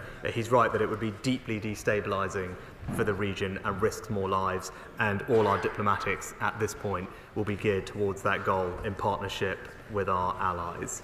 Uh, next, just turning to Iran. Um, as it, the behaviour of the Iranian regime, as I've said previously, including the actions of the IRGC, poses a significant threat to the safety and security of the UK and our allies. And yesterday at the G7, we agreed to work together on further measures to counter the Iranian regime and its proxies. Uh, it was agreed that we should coordinate those actions, and that work is now underway. And obviously, at the appropriate time, either I or ministers will update the House. We have already sanctioned, as he will know, over 400 Iranian individuals, including the IRGC in its entirety. We have a new sanctions regime to enable us to, well, gives us more extensive powers to designate uh, sanctions uh, that we put in place at the end of last year. And of course, the National Security Act, it creates new offences for espionage and foreign interference and means that our security services have the powers that they need to deter, disrupt, and uh, detect threats of a more modern nature from states like Iran. Uh, and lastly, uh, with regard to diplomacy for Israel and the region, we're absolutely committed to a two-state solution and working very hard uh, using all our efforts to bring that about, particularly over the last few months, building up the capability, as I said, of the Palestinian Authority so that they have the technical and administrative capability that is necessary uh, when the moment comes for them to provide effective governments, uh, governance in uh, the West Bank and Gaza. It is absolutely my view and the government's view that Israelis and Palestinians should have the opportunity to live side by side in peace, with security, dignity and opportunity, and I'm proud of the role that the United Kingdom is playing. Yeah, yeah. Foreign Affairs Select Committee, Alicia Cairns. Mr Speaker, my condolences on the loss of your father.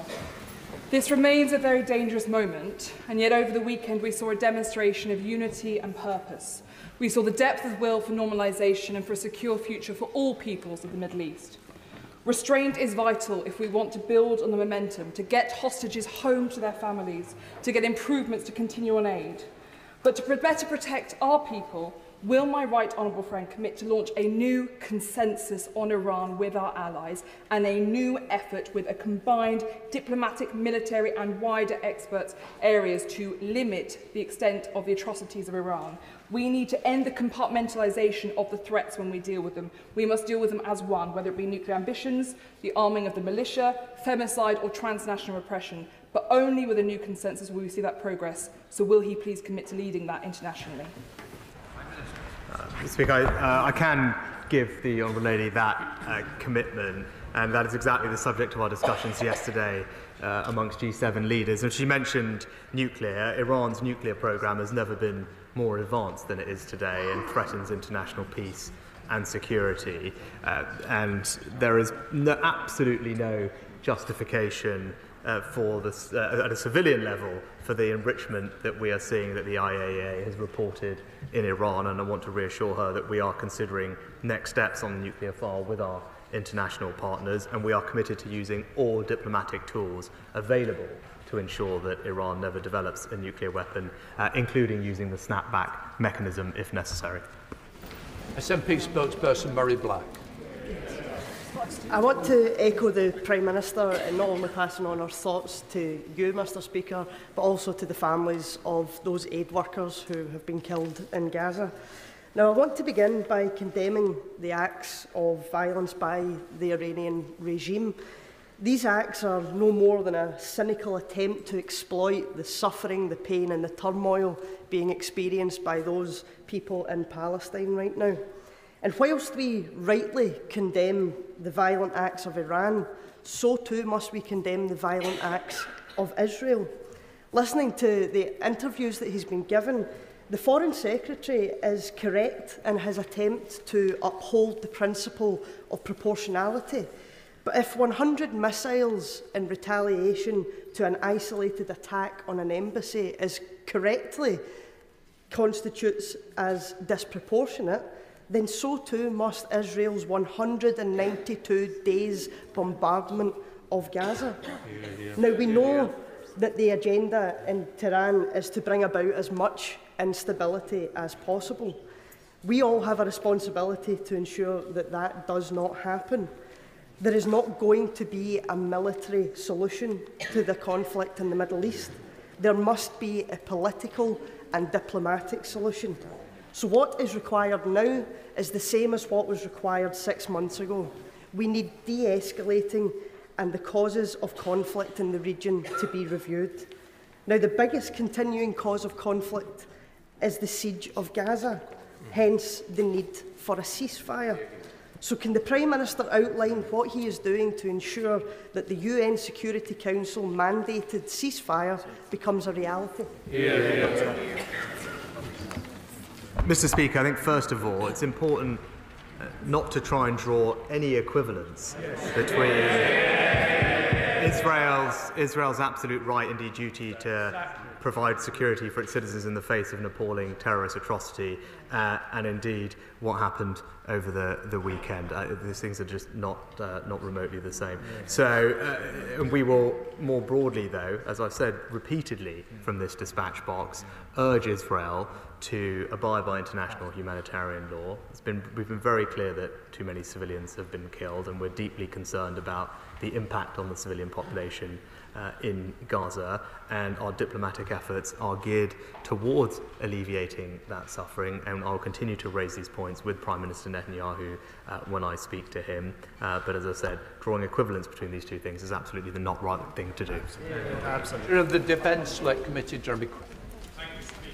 Uh, notwithstanding the sheer scale of the Iranian attack, multi-layered air defence proved effective? Are we ensuring that any learnings we picked up we're passing on to Ukraine for the use of their own defence? And in a more hostile and dangerous world, and with the ever increasing proliferation of missile and drone technology, are we reviewing our own air defence assets and capabilities to support our allies and indeed uh, uh, closer to home if ever required?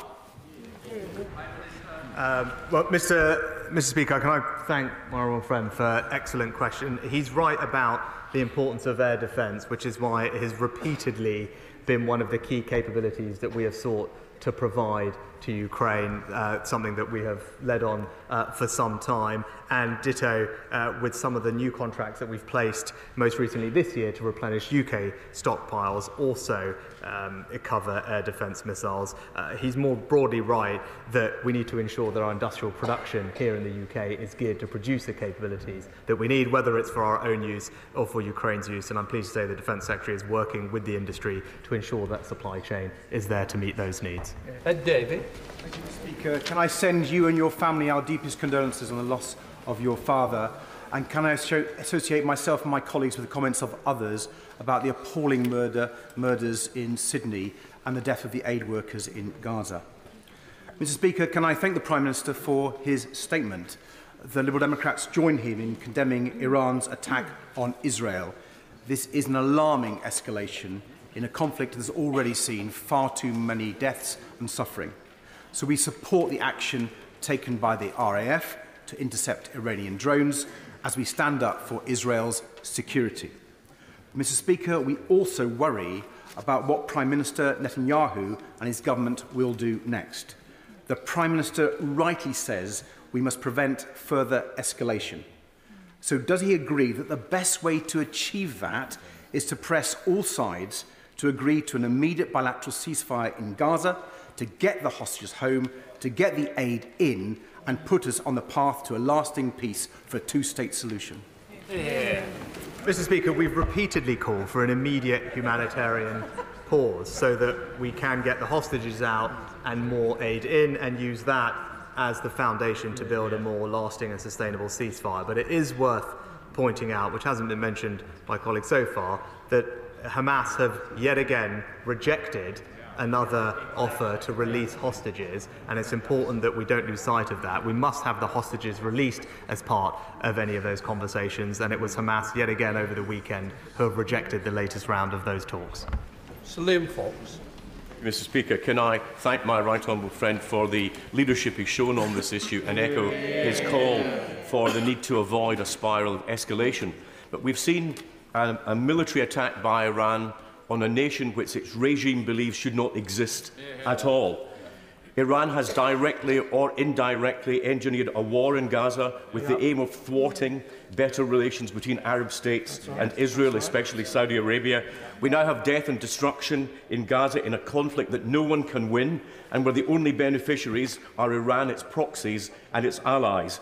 We've seen an Iranian journalist uh, attacked on British soil. And we've seen a, a vessel, an international vessel, being pirated by the IRGC in international waters, another vile example of hostage taking. So I ask my right honourable friend again, why are Iranians still operating out of Heathrow? Why are Iranian banks still operating in the city of London? When will the snapback mechanism be invoked? And what can be done to stop the export of Iranian oil to Russia and other countries, which is now keeping the regime afloat? Yeah. Well, can I thank my honourable friend for his leadership on this issue over a consistent period of time, and he's right to highlight the threats that Iran poses to us. I want to reassure him that on all the areas that he mentioned, active work has been undertaken by the government. As I mentioned in my statement, we discussed yesterday on the G7 call the need and benefit of coordinating further measures, perhaps including some of the things that he talked about amongst allies in order to have maximum impact both on the regime and uh, on the ultimate designations of any future sanctions. I'm pleased that our new sanctions regime that we implemented at the end of last year gives us extensive new powers. I'm keen to make sure we use them to good effect, but where we can coordinate those with allies, I know he'd agree with me that that would be preferable, and I can reassure him that that work is happening at pace. Sir George Howarth. Thank you, Mr Speaker. Could I too pass on my condolences for the loss of your dad, Doug? Uh, I was one of those who, on many occasions, benefited from his wise advice. The, there is no, as the Prime Minister said, there is no moral equivalence between two sides in this, what's happening in Gaza and what happened um, in the attacks from by Iran on Israel. he, it is the case, though, that um, Israel has made mistakes in the past and should be held to account for them. Would the Prime Minister agree with me that as things move on, the importance of neighbouring states, particularly, uh, for example, Jordan, is going to be vital, not just in resolving the current difficulties, but also uh, in resolving a long-term future which brings about a two-state solution? In a, in a word, yes, I pay tribute to uh, the King of Jordan for the leadership role that he has played over the past several months. Uh, we are fortunate to enjoy a strong working relationship with the Jordanians, which was on display yet again over this weekend, and I commend him and his country for what they've done. Suella Braverman. Mr Speaker, please accept my condolences on the loss of your father. Here. Two weeks ago, Mr Speaker, I was in Israel at the northern border with Lebanon. And of course, we've all seen what happened this weekend. But since October the 7th, Iran-backed Hezbollah has fired over 4,000 rockets into northern Israel, displacing over 150,000 Israeli civilians. I met some of those families. They're under siege, they've been uprooted, but they are brave and defiant in the face of terrorism and anti-Semitism. Mr Speaker, we have known for years that the Iranian Revolutionary Guard Corps is the world's chief sponsor of terrorism. Here, here. Funding and promoting terrorist plots, radicalisation and hostage-taking, both in the Middle East and at home. Mr Speaker, we have prescribed Hamas. We have prescribed Hezbollah. Prime Minister, why don't we put the UK's... Why don't we put, Prime Minister, why don't we put the UK's national security first by now prescribing the IRGC? Here. Mr. Speaker, as the uh, Honourable Lady knows that we don't comment on any potential prescription decisions, but of course we recognise the threat from Iran and have taken measures to counter it at home and around the world. I obviously refer her to my previous answer, but I'm confident the police, security services and courts all have the tools that they need to sanction, prosecute and mitigate the threats from Iran. We strengthened our sanctions regime recently and including sanctioning the IRGC in its entirety. Rushanara Ali. Thank you, Mr Speaker. Despite the calls for a ceasefire here in our Parliament and across the international community, the war in Gaza has raged, costing 33,000 lives, as well as the 1,200 killed by Hamas attacks and a humanitarian catastrophe that is now turning to a famine. For months, many have raised the spectre of the concern around regional escalation. Can the Prime Minister say more about precisely what conversations he's having with the leading, figures in the Israeli government, as well as um, through uh, uh various parties to influence the Iranian regime to de escalate as quickly as possible, given the seriousness of the crisis? Um, well, both the Defence Secretary and Foreign Secretary have spoken uh, to their counterparts over the weekend, uh, including the Foreign Secretary has spoken to the Iranian Foreign Minister specifically to urge de-escalation and condemn what happened over the weekend. I'm speaking to Prime Minister Netanyahu uh, shortly, and I can reassure her and all members of the House that we will continue, together with our allies, to urge calm heads to prevail and de-escalation. And we think that's the right course forward. And as I said, across all levels of government, that's the message that we were taking to everyone. Ben Wallace. Thank you, Mr. Speaker. There is another country uh, that is under almost constant daily bombardment by Iranian made drones. That country is Ukraine. Some three years ago, I asked the Israelis, I pleaded with the Israelis to help Ukraine against Russia, and they refused, even though Russia was spending half a billion dollars in the Iranian drone program. I know the Prime Minister is speaking to the Prime Minister of Israel later today. Now that RAF pilots have quite rightly gone to the defence of Israel, yeah. could he perhaps ask that Israel now decides that it is time to help Ukraine in their hour of need and we can see off both Russia and Iranian aggression? Yeah.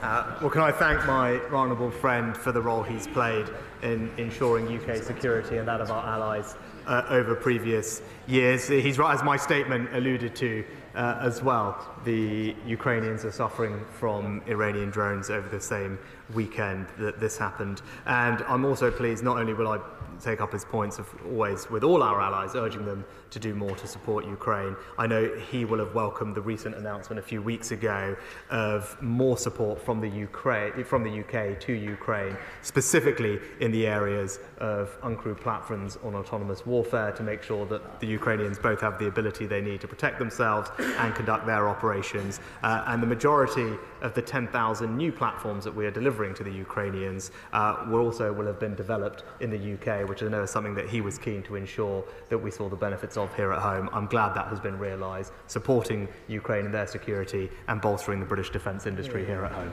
John McDonnell. There's consensus across the House, rightfully so, to call for restraint on the Israeli government. But we've called for restraint before. We called for restraint with regard to the attack on Gaza, yet the indiscriminate bombing took place. We called for restraint on the settlements in the West Bank, and yet the settlements have expanded. We called for a restraint so that food could be got to the children of Gaza, and yet malnutrition is killing some of them. So what action will the government take if Israel does not show restraint? Because we're in danger of the Middle East being set alight by the decisions taken by the right-wing factions within the Netanyahu cabinet. Mr Speaker, I'm sorry, I, I, missed the part of the honourable gentleman's question where he condemned Iran and Hamas uh, for what they've done.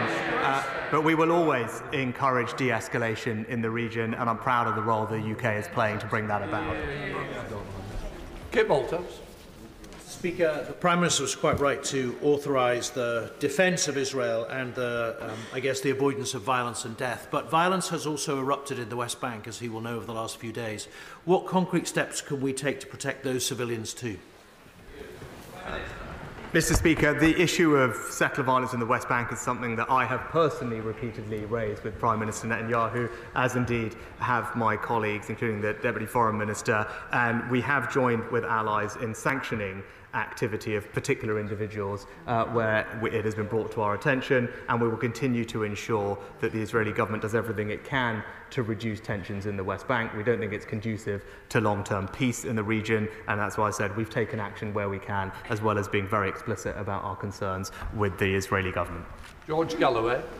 Mr. Speaker, I knew your father well for a very long time. He was a fine man, and I am sincerely sorry for your loss. There was not one single word in the Prime Minister's statement of condemnation of the Israeli destruction of the Iranian consulate in Damascus, which is the proximate reason for the event everyone is here in concert condemning. He was not even asked to do so by the front bench opposite. Kay Burley is the only person so far to demand that of a government minister. We have no treaty with Israel, at least not one that Parliament has been shown. And the Iranians are not likely to listen to him. When Britain occupied Iran, looted its wealth, and overthrew its one democratic socialist government in my own lifetime.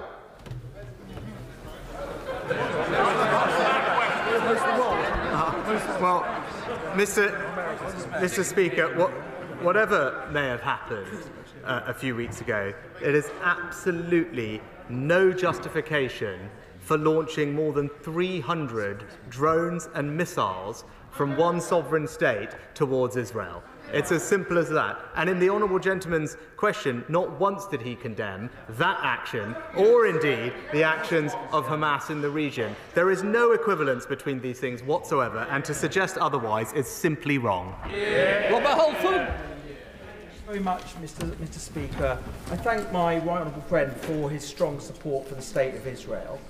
Um, last year, as Israel and Saudi Arabia were about to strike a transformational agreement, Iran-backed Hamas carried out its massacre on October the 7th with the aim of torpedoing the chance of peace between Israel and the Arab nations. And last Saturday's drone attack by Iran, being thwarted by Israel and her allies, including Jordan, demonstrated that Arab countries can work alongside Israel after this new period of contention so does my right honourable friend agree that this represents a new opportunity for Israel and the Arab nations to rebuild relations in the aftermath of October 7th and bring the hostages home? Mr. Speaker, I agree uh, with my honourable friend. It is significant that other regional partners actually helped to prevent a much worse attack over the weekend, and it reminds us how important attempts are to normalise relations between Israel and its neighbours. It holds out precious hope for the region. It's exactly that hope that Iran and its proxies are trying to snuff out, and we should work very hard to combat that. Dawn Butler. Thank you, Mr. Speaker, and my condolences to you and your family, Mr. Speaker. Um, Prime Minister, I condemn Iran and Hamas. Let me start there. But we must not lose focus on the situation in Gaza, where there is a humanitarian crisis, uh, famine, and and it's just destruction that people are seeing in front of their eyes. But if we want to if we want to ensure that the hostages come home like the hostage that's been adopted in Brent Noa Argamani we must argue for a ceasefire and not a pause will the prime minister clearly state that we should be calling for an immediate ceasefire on all sides Mr Speaker it's, it's wrong to suggest in any way that we have lost sight of what is happening in Gaza. And indeed, the G7, G7 statement yesterday referenced specifically our desire to cooperate to end the crisis in Gaza, working, to, working towards an immediate humanitarian pause where hostages can be released, aid can go in, and build the conditions for a sustainable ceasefire, and crucially, deliver more humanitarian assistance into the region. It's welcome that we have seen an increase in that flow over the past few days and weeks, but far more aid has to get in, and that's the pressure that we will continue to put on all partners concerned. Sir Iain Duncan. Mr. Speaker, my condolences. Can I commend my right honourable friend's statement? Uh, it's quite clear, as has been said already, that all roads lead back to Tehran when it comes to the terrible violence and the wars that take place uh, in the Middle East. And every country, not just Israel, but other Arab countries, fear what Tehran is doing in their countries as well, the thing we forget about. Can I therefore know that if we know that they are committing murder at home, they've, they've executed thousands of protesters whilst uh, this war in Hamas has been taking place.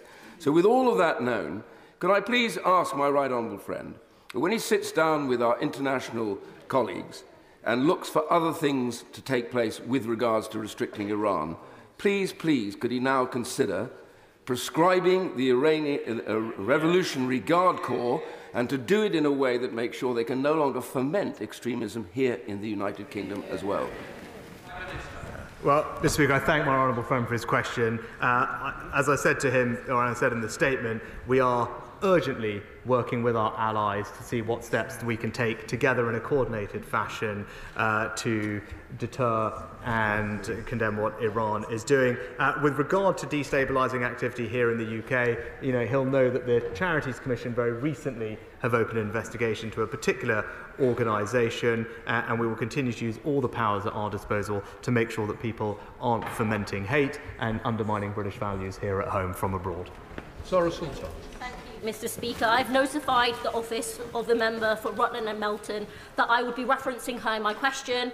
It was recently revealed that the chair of the Foreign Affairs Select Committee told a private fundraising event and I quote, the Foreign Office has re received official legal advice that Israel has broken international humanitarian law, but the government has not announced it. So I have a very simple question for the Prime Minister, and if he can't answer that, if he dodges and if he deflects, our constituents will know that he is hiding the truth. Was the chair of the Foreign Affairs Select Committee telling the truth, yes or no? Yeah, yeah. Well, Mr. Speaker, I'm happy to address this very clearly. We have one of the mo most robust arms export licensing control regimes in the entire world. We have previously assessed that Israel is committed and capable of complying with IHL, but we regularly review our assessment as she would expect. As the Foreign Secretary confirmed last week, the UK position on export licences is unchanged and following the latest assessment ah. is in line with our legal advice. Ah. We will keep that position under review and act in accordance with advice. And I would also point out to her that actually most like-minded countries have not suspended right. their existing arms export licenses right. to Israel. Yeah. Uh, Mr Speaker, I too uh, welcome the Prime Minister's uh, leadership in this area. Will he add his thanks, uh, in addition to the thanks for the RAF who have uh, undertaken exemplary action this weekend, also those US service personnel who are based here in the United Kingdom, including many in my West Suffolk constituency, who were prepared to act at a moment's notice in order to defend the, uh, the attack on Israel, uh, which has been roundly condemned. Well, I'm happy to join my honourable friend in paying tribute to our colleagues, not just in America, but from partners uh, around the region who participated in a joint international effort. Uh, this was all uh, in support of Israel's own actions, and also their armed forces deserve enormous praise for the success in which they repelled this awful attack. Black. Thank you, Mr. Speaker. And can I pass my condolences to you and your family for the sad loss of your father, Doug?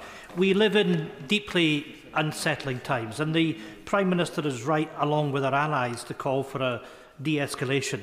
When the Prime Minister has these discussions with Prime Minister Netanyahu this afternoon, can he convey to him that now is the time to step back? There must be no further escalation in the Middle East. And, Mr Speaker, now is the time to recognise that both Israelis and Palestinians must live in peace. And in order to do that, we need that two-state solution. But as the former Prime Minister David Cameron said in 2014, when we had an outbreak of violence in Gaza, he then unequivocally called for a ceasefire. We must now, today, put an end to the conflict and the killing in that region for the benefit of both these countries. And finally, if I may say so, I welcome the comments of the Prime Minister on the situation in Ukraine. But we're all aware of the reports of the build-up of Russian activity. And I ask the Prime Minister, with our allies, that we must do more today to protect our friends in Iran, to give them the tools that they need, to be able to defend themselves and to be able to make sure that Russia is defeated. Well, Mr Speaker, I'm happy to say to my honourable uh, gentleman that we remain steadfast in our support for Ukraine yeah. and we will not allow Putin to achieve his aim of eradicating freedom and democracy in that country. We've announced significant support. It was the first trip that I made at the beginning of this year and have encouraged allies to do the same. And we are committed to supporting Ukraine for as long as it takes, for not only for them to win the war, but also to emerge as a strong, sovereign and free country. Bishop, be Manchester. Thank you, Mr Speaker. My thoughts and condolences are with your family. The United Kingdom stands for an international rules-based system, respecting sovereignty and territorial integrity of other nations. And that is one of our key objectives with regards to Ukraine. Of course, I condemn in the fullest Iran's attack on Israel. And I have previously condemned Iran's malign behavior in the region. The question that is on people's mind is this. What information or intelligence does the Prime Minister have with regards to what was going on in Iran's consulate in Damascus, which led to that attack by Iran. Because the international community and people around the world want to see United Kingdom applying international law consistently across the board. Mr. Speaker, whatever happened in that situation has not been uh, confirmed, and regardless, there can never be any justification for launching, as I said, over 300 drones and missiles towards Israel from another sovereign country, and it was right that we took action with allies to repel that attack. Richard Beckett. Thank you, uh, Mr. Speaker, and my condolences to you on the loss of your father. He'll have been very, very proud of you. This is a very dangerous moment. The UN Secretary General rightly told the Security Council last night now is the time to defuse and de escalate. Ordinary people in both Israel and Iran, across the whole region, indeed wider world, will pay the price if this escalates. The Secretary General also rightly reiterated the call for an immediate ceasefire in Gaza, as the Security Council voted for, given the huge loss of life there. This is the first opportunity we've had to question the Prime Minister since the recent killing of British nationals in Gaza. So is the Prime Minister planning to appoint an independent advisor to scrutinise the Israeli inquiry into those deaths of British nationals uh, in a similar way to the way Australia has done? Uh, Mr. Speaker, I spoke to Prime Minister Netanyahu after that incident to express our very strong concerns about what had happened. We are carefully reviewing the initial findings of Israel's investigations into the killing of the aid workers and welcome the suspension of two officers as a first step. These findings must be published and followed up with an independent review to ensure the utmost transparency and accountability. Mike Levis. Can I congratulate the Prime Minister for his strength defending Israel and wider peace in the Middle East? His strength in this area is world leading. Now, our friend, this country's friend Saudi Arabia, has now said in an official statement that Iran, quote, engineered the war in Gaza, end quote, in order to destroy the progress the Kingdom of Saudi Arabia was making in normalizing relations with Israel. Now, that very important statement yesterday also said that Iran is a country that sponsors terrorism and it should have been stopped a long time ago. That's the Saudis saying that. So is my right honourable friend as hopeful as I am that the Kingdom of Saudi Arabia and Israel, both allies of this country, will normalise their relations as soon as possible, as it looks like they were on track to do before the pogrom of the 7th of October. Well, I had a very constructive meeting uh, in Saudi Arabia um, with MBS at the end of last year, and I know how important it is to normalise relations between Israel and its neighbours. And it's clear from this weekend, and indeed the comments that the honourable gentleman just made, that there is momentum and a desire to see that happen. And it holds out, I believe, precious hope for the region. Speaker, can I also pass our condolences from my party onto you in the loss of your dad? The UK should not either dictate or demand from Israel uh, restrictions in how it retaliates against the Iranian regime, which has shown it's prepared to take action to back up its threats to wipe Israel out. And indeed, the political and military support which we have given is very important. But can the Prime Minister tell us what direct action can we take here in the United Kingdom to disrupt the economic uh, interests of Iran uh, which exists in our own country? Uh, we've already sanctioned more than 400 Iranian individuals, Mr. Speaker, uh, and as I said, discussing with our allies about what more we can do. Jason McConnell. Uh, thank you, Mr. Speaker. Can I join the Prime Minister in paying tribute to the Royal Air Force personnel who are on operations over the weekend? I also join him as well the importance of de escalating calling for maximum restraint, and when it comes to Gaza, working towards that sustainable ceasefire, seeing a flood of aid going into Gaza now to help the humanitarian efforts there. And also, we all want to see an end to the bloodshed. But can I just echo the chair of the Defence Select Committee in what we saw over the weekend, just showing the importance of investing in air defence systems yeah. to defend civilians from these hostile regimes? Uh, Mr. Speaker, my honourable friend is absolutely right. Uh, whether it's with Ukraine, where we've provided AMRAAMs and Star Starstreak missiles, or indeed here at home, where, as I said, we've placed new contracts at the beginning of this year uh, to improve our air defence capability. It's a key capability that we need to invest in, and ideally, we need to produce more of it here at home. Afzal Khan. Uh, Mr. Speaker, 12-year-old Zain Arouk miraculously survived Israel's bombing that killed most of his family in Gaza three months ago, but was killed this weekend by an aid airdrop when he was searching for scraps of food because the parachute didn't open. Zain and thousands of others would still be alive had allies like the UK and US pushed Israel to adhere to the UN resolution on ceasefire in Gaza, which would allow aid to reach starving children safely. So, will the Prime Minister set out exactly what repercussions Israel will face for failing to abide by the UN Security Council motion? Mr. Speaker, I've been very clear that too many civilians have already lost their lives in Gaza. The UN Security Council resolution also called for the unconditional release of the hostages, which, as he'll know, Hamas rejected at the weekend. And it's important that we focus on that at the same time as getting more aid in. Stephen Crabb. Thank you, Mr. Speaker. There's one thing right now that would do more than anything to help end the conflict in Gaza, and that's the release of all the Israeli hostages being held by Hamas. Does my right honourable friend agree with me that no matter how well intentioned and no matter how much we all want the conflict to end as soon as possible, simply calling for an unconditional immediate ceasefire reduces the incentive on Hamas yes. to do the hostage yeah, deal. Yeah, yeah, so long as they feel like they're winning diplomatically, right. it reduces pressure on them to do the right thing. I agree with my honourable friend, and I've made the same argument from the dispatch box previously, it's absolutely crucial that as part of the immediate humanitarian pause that we are calling for, not only can we get considerably more aid into Gaza to alleviate suffering that people are experiencing, we must be able to release the hostages, and that's what we're focused on doing. Marsha de Cordova. Uh, um, thank you, Mr. Speaker. Whilst globally the, the, attention is rightly focused on Israel and Iran, and we are all in agreement that the next step has to be de escalation, the situation in Gaza is worsening every day. More than 33,000 lives have been lost, and more than a million will now be facing an imminent famine. Now, the UK almost stands alone in not restoring funding to UNRWA.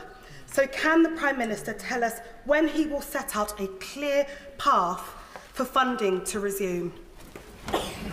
Mr. Speaker, together with our allies, we're reviewing the interim findings uh, and are discussing appropriate next steps. Many partner countries have suspended funding to UNRWA after what happened, which was shocking. But in the meantime, we are considerably increasing our own aid into the region and welcome the commitments from Israel recently uh, to increase uh, the flow, opening new checkpoints, the port of Ashdod, the Jordan land corridor, Kerem Shalom. But now we want to see those commitments followed through. We all want to see more aid getting in, and that will be a focus of our conversations with Israel.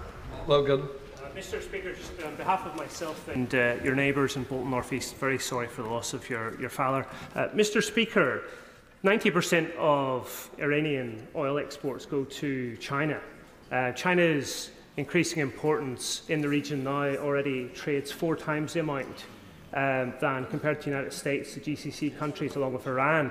What discussions is the Prime Minister planning on having with his counterpart Xi Jinping and the Foreign Secretary Wang Yi in terms of resolving an escalation in the conflict in Iran?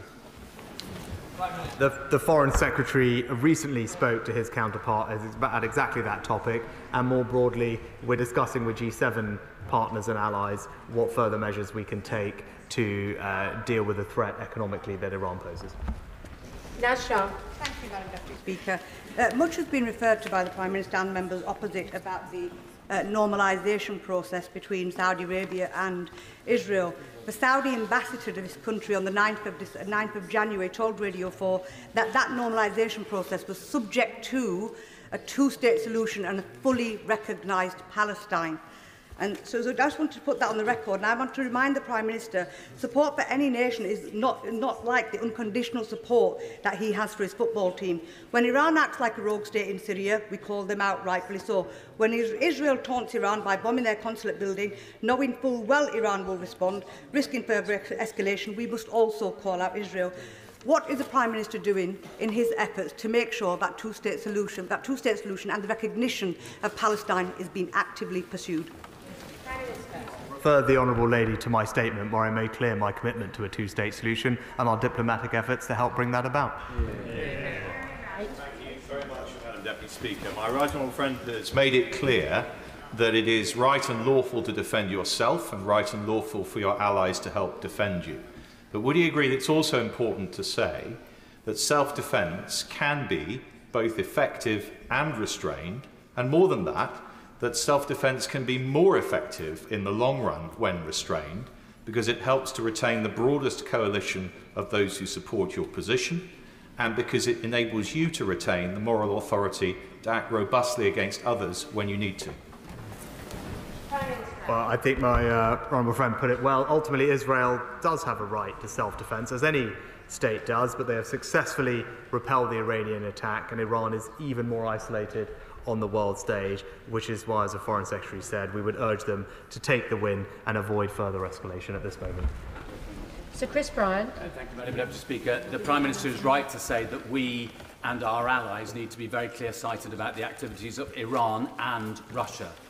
But when you consider that there are British businesses like Avon still doing business in Russia and claiming that that is because it's absolutely vital and urgent, uh, when you consider that there is a massive shadow uh, fleet of tankers evading Russian oil mm. sanctions, and when you consider that many countries are importing, such as in Kazakhstan, so that they can then import into Russia, again to avoid sanctions. And when you consider that not a penny has yet gone from the sale of Abramovich's Chelsea to Ukraine, and we still haven't seized any of the multi-billion pounds of Russian state assets sitting in British banks, yes isn't there further that we could go? Here, yep. here.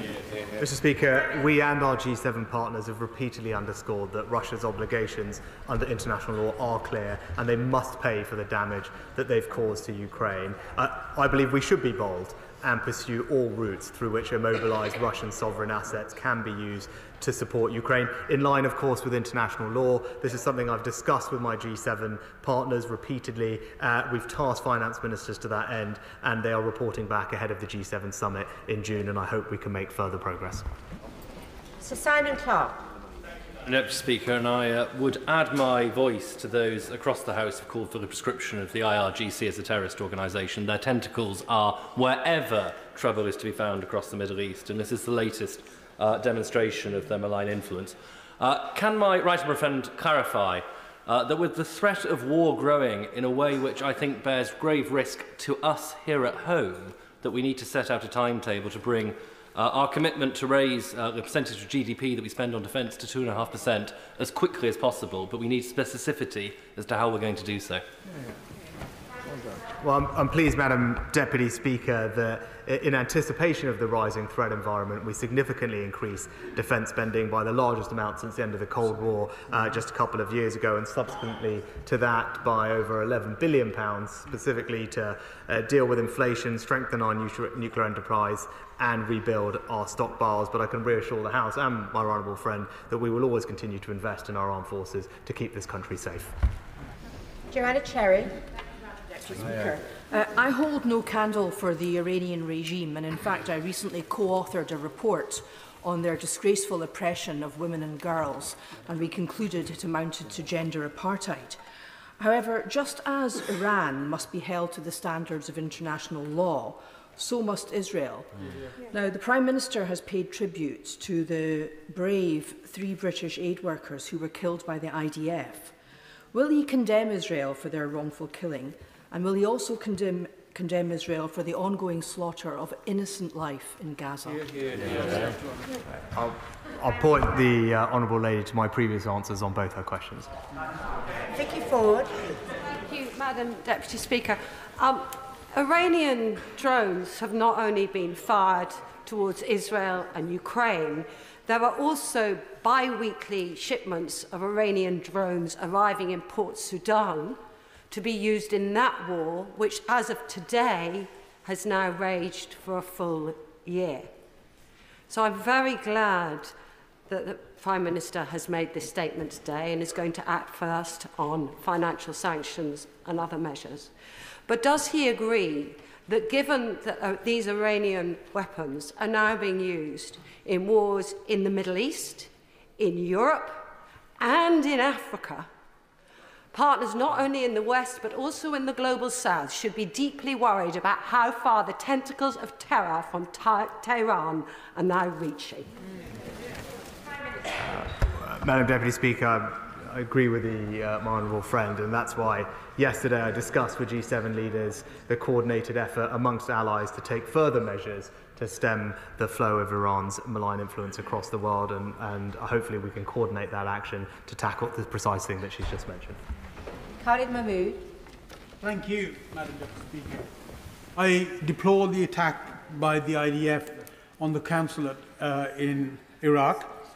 I further totally deplore the massive attack by Iran by launching 301 drones and missiles uh, on Israel, knowing full well that this attack will deter from the great work that we need to do in Gaza, supporting those people who are starving, who are uh, suffering from malnutrition, young children. We need to support them to do that. Will the Prime Minister commit to the fact that he supports not no escalation in any in the, in the region by any of the countries that are involved at the moment, but as he said in his statement, to concentrate on supporting young people and people that are dying in Gaza. Prime Minister. As I said very clearly, we've urged de-escalation and calm heads to prevail, and we continue to do everything we can to get more aid into Gaza. Francois. Thank you, Madam. Again on air defence, I wholly commend our RAF pilots and their superb Typhoon aircraft.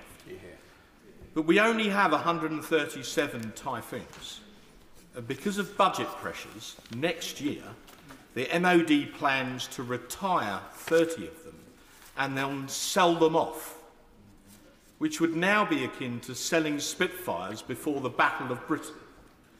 Will the Prime Minister, when he has a moment, go back to his office and place that ridiculous decision under immediate review and at the very least put those typhoons in a war reserve in case one day we need them for ourselves. Well, I thank my honourable friend for his question. He'll know that obviously individual uh, equipment and capability decisions will be made uh, by service chief in conjunction with ministers. I, uh, I'm happy to look at the, the, the point that he raised, but I do know we're also increasing our purchase of F-35 aircraft uh, and collaborating with Japan and Italy on building the next generation of fighter aircraft, something that we are leading the world in, but also will be fantastic for British jobs here at home. Derek Twigg. Thank you, uh, Madam Deputy Speaker. Uh, I, I do hope, as the Prime Minister said, that actually we can find a diplomatic solution, but I think we should plan for the worst. And I note that the Prime Minister, in his statement, said the threats to stability, is, the threats to stability are growing, not just in the Middle East, but he, I'm using his exact quotes everywhere. So uh, can I ask the, uh, uh and I also add, uh, Madam Deputy Speaker, that our armed forces are running very hot at the moment. So can I ask the Prime Minister, why did he come here today to announce a significant, a significant uplift in defence spending to match the potential real and, real, real and potential threats that we're now facing as, as, as our yeah, country is? And why isn't that going to add to insecurity for our country? Yeah, yeah. I'll refer the gentleman to my previous answer about the existing increase uh, in our defence budget, not just over the last few years, but especially this year, in recognition of the increasing threats, and also just point out to him that we remain and have done over the past 10 years the second largest defence spender in NATO, behind only the US. Yeah. Taken by the Prime Minister and the Armed Services over the weekend. I regret to say this, but some of my constituents feel that UK support for Israel has weakened in recent weeks. So, in the light of this horrific aggression from Iran, will the Prime Minister take the opportunity to confirm that there is no backsliding and that the UK stands shoulder to shoulder with Israel as it exercises its right to defend itself from a genocidal attack? Yeah. Uh, Mr. Speaker, as I was crystal clear in my statement, we must ensure Israel's security. It's non negotiable, it's a fundamental condition for peace in the region. And as we saw in the face of threats like we saw this weekend, Israel will have always our full support. Yeah, yeah. Caroline Lucas. Thank you very much, Madam Deputy Speaker. Like the whole House, I condemn the attack on Israel by the tyrannical Iranian regime, just as I deeply condemn the atrocities of Hamas. but I am also incredibly concerned that our Prime Minister has now pitched the UK into a perilous war and in support of an Israeli government presided over by Netanyahu, a man who chose to bomb an Iranian embassy because he's dependent on his hard right provo provocateurs. This was itself a dangerous escalation by Israel and a further breach of international law. So if the Prime Minister's priority is indeed international law and de-escalation, then why isn't he calling now for an urgent bilateral ceasefire to get the hostages home and to get the region on the path to peace? Uh, Madam Deputy Speaker, we have called for an immediate humanitarian pause to get the hostages out and aid in, and we will continue to do so. Uh, and I'm completely comfortable that what we did over the weekend was the right thing, acting together with allies to make sure that we could act in defence of Israel in the face of an unprecedented attack on its territory and people. Sir Alec Shelbrooke. Madam Deputy Speaker, may I um, congratulate my right honourable friend the Prime Minister for his um, holistic view to the situation taking place in um, Israel, Gaza and of course Iran. And may I say how glad I am that he has categorically said that we will carry on supplying the arms that Israel needs to defend itself, which has been proven to be so vital just this weekend. Does my right honourable friend agree with me that in order to try and achieve a sustainable ceasefire, that we also, that the Middle East has to um, confront the threat that Iran makes. Its, um, its direct influence in Yemen is having an impact um, on shipping through the Red Sea. That's having an impact on the war which is in Sudan, and it's having an impact in the war in Gaza and the effect on Israel and surrounding countries such as Lebanon. So I ask my right friend um, to do everything he can to make sure that the whole of the region recognises that Iran plays a large part in all of the suffering we're seeing in the area. My uh, honourable friend is right to point out Iran's support for the Houthi militia who have carried out a series of dangerous and destabilising attacks against shipping in the Red Sea, uh, and that's why the UK, together with allies, stood up to take action against that and are currently engaged in the multinational Operation Prosperity Guardian to further deter uh, Houthi and Iranian aggression. Sir Stephen Timms. Thank you, Madam Deputy Speaker. I, I welcome the support of the Prime Minister and the Government for the resolution on Gaza adopted recently by the United Nations Security Council. Israel is currently in breach of that resolution. How does that affect his view of the current actions of Israel in the Middle East? That resolution also calls for the release of the hostages, which Hamas rejected just this weekend. Uh, David Jones. Deputy Speaker, further to the points made by my right honourable friend, the friends, the members for Fareham and Chingford and Woodford Green, Uh, Iran's Islamic Revolutionary Guard Corps is not only the principal uh, sponsor of terrorism in the Middle East, it is also active on the streets of the United Kingdom. Uh, indeed, the uh, Iranian journalist Piria Zerati, who was almost fatally stabbed last month, was under threat from the IRGC. And it's uh, actually the case that IRGC officials can be seen dining out in restaurants in West London quite regularly. Whilst I fully understand that my right honourable friend will not flag up any such uh, action in advance, can he confirm that he will take into account what I believe to be the overwhelming feeling in this House, uh, which is that the IRGC should be proscribed as a terrorist organisation? I'll just refer the uh, Honourable Gentleman to my previous answers, but also remind him that the National Security Act uh, creates new offences which give us the powers to arrest and detain people suspected of involvement in state threats on our soil. Hello, Bucks. Thank you very much, Madam Deputy Speaker. I share the hope for calm and de-escalation. Without it, the UN Secretary-General has said the Middle East faces a real danger of devastating full-scale conflict. Can the Prime Minister tell us what the parameters are of UK military involvement in the region and confirm it will remain defensive? So, well, Madam Deputy Speaker, I'm not going to speculate on future hypotheticals, um, but as I said, we have sent additional jets and air refueling tankers to bolster our existing operation in the region, and we'll obviously keep next steps under review. Claire Richards. Deputy Speaker, Iran has smuggled arms into the Middle East, including the West Bank. They've equipped and funded and trained Hezbollah, Hamas, and the Houthis, as well as threatening British Iranians on British soil. And that doesn't even include what they have done to their own people, not least gassing Iranian schoolgirls. I thank the Prime Minister for the strong action over the weekend. Does he agree with me? We now must reconsider prescribing the IRGC as a terrorist organisation. Mr. Speaker, my honourable friend is right to highlight uh, the influence of Iran with missile shipments uh, in the seas around them, and that's why I'm pleased that the United Kingdom is playing its part to practically do something about that. HMS Diamond bolstering our maritime presence in the region as we speak, uh, but also the UK has previously interdicted the supply of Iranian missiles being smuggled to the Houthis and others, both last year and the year before, and will continue to be vigilant in the area. Alistair Carmichael. Thank you, Madam Deputy Speaker.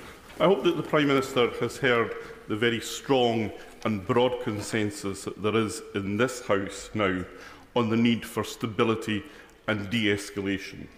So when he speaks to Prime Minister Netanyahu, will he make it clear to him that if Israel were now to proceed with their much anticipated attack on Rafah, then that would not only be a humanitarian catastrophe for the 1.5 million Palestinians who are sheltering there, would make the release of the hostages more difficult, but would also make that stability and de-escalation more difficult to achieve, and as a consequence, will not have the support of his government.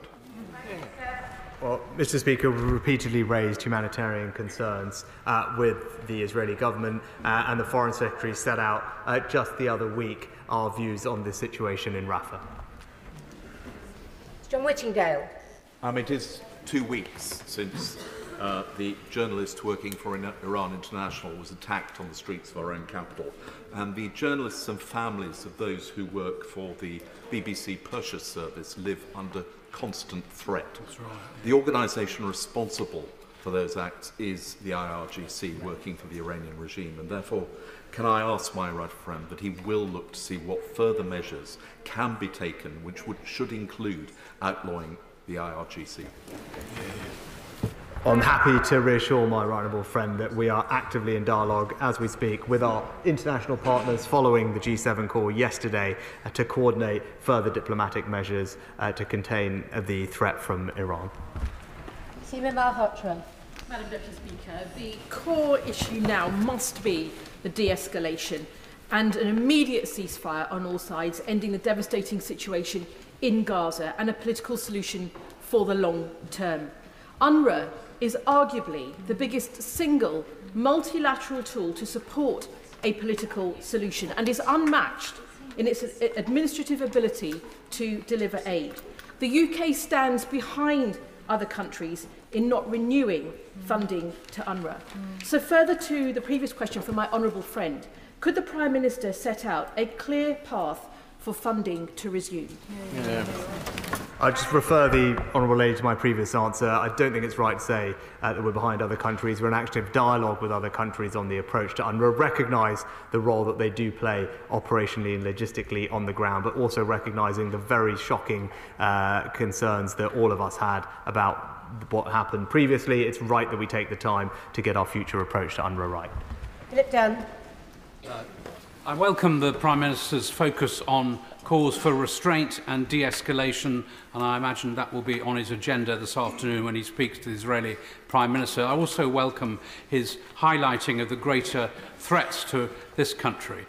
In light of that, could he, and, and recognising what he said earlier today about the future defence budget, could he undertake an immediate review of the uh, resources and resilience of the British Armed Forces in the immediate term? Uh, Madam Deputy Speaker, I'm happy to tell my honourable friend that we do keep these things under constant review to make sure that we have the capabilities that we need to protect our country and stand up for our value and interests around the world. One thing that is clear is recent conflicts in Ukraine specifically has shown is how technology is changing warfare, which is why our increased focus on autonomous vehicles is so welcome and including building up our UK industrial supply chain. These are things that we need to focus on. I'm delighted the Defence Secretary has prioritised those areas. Hywel Williams. Thank Isn't there a danger that a, a further military attack on Iran would uh, serve to entrench the despotic regime in Tehran and strengthen its ability to oppress its own people, Iranian women, the Kurdish community, the Baha'is and many, many others? treatment of its own citizens is appalling, and we've repeatedly condemned them and called them out for that. I met with students at Woodbrook Vale School and Delisle College in Loughborough. Their question on this topic is now even more important than it was when they put it to me last week. What more can the United Kingdom do to help bring peace to this region? Prime Minister.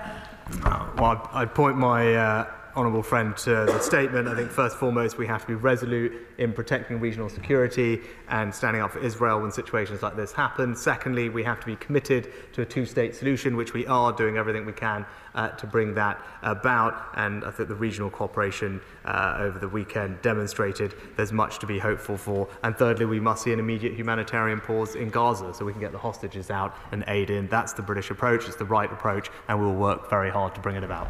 Uh, Stella Creasy. Thank you, Madam Deputy Speaker. The Polish Prime Minister Donald Tusk has warned that Europe is in a pre war era because of the situation in Russia. The Prime Minister rightly said that these were not mutually exclusive conflicts, but interlinked. And therefore, it is important that we coordinate. Just as we have seen, there has been coordination at the United Nations. He will be aware of the very real concern that the UN sanctions regime on both Iran and Russia is being undermined. Now, the UN has combined together to support a ceasefire and to call for that, What more is he doing to make sure that the UN works for sanctions on both Russia and Iran? Does he recognise that waiting until June for the G7 to act may be too long in a situation where every single day counts to stop yeah. further military action? Yeah. Minister. Uh, Madam Deputy Speaker, what I was talking about with the G7 was regard to Russian assets, where obviously the G7 has an outsized economic role that it can play. So it's important that there is G7 coordination first and foremost. Uh, when it comes to sanctions evasion, last year we funded the economic deterrence uh, regime that we have specifically to target sanctions evasion. She's right that it's a growing issue and one that I can reassure her we are tackling together with our allies. Uh, James Morris. Thank you, Madam De Deputy Speaker. Notwithstanding the drones and the missiles which were launched by Iran and quite rightly taken out by UK planes and, and, and our allies, they prefer to operate in the shadows through proxies and through an increasingly sophisticated cyber operation. So would the Prime Minister agree with me that our priority should be working with international allies to go after where Iran is promoting illicit finance and weapons smuggling, as well as working with our international par um, partners to combat their cyber operations? Yeah.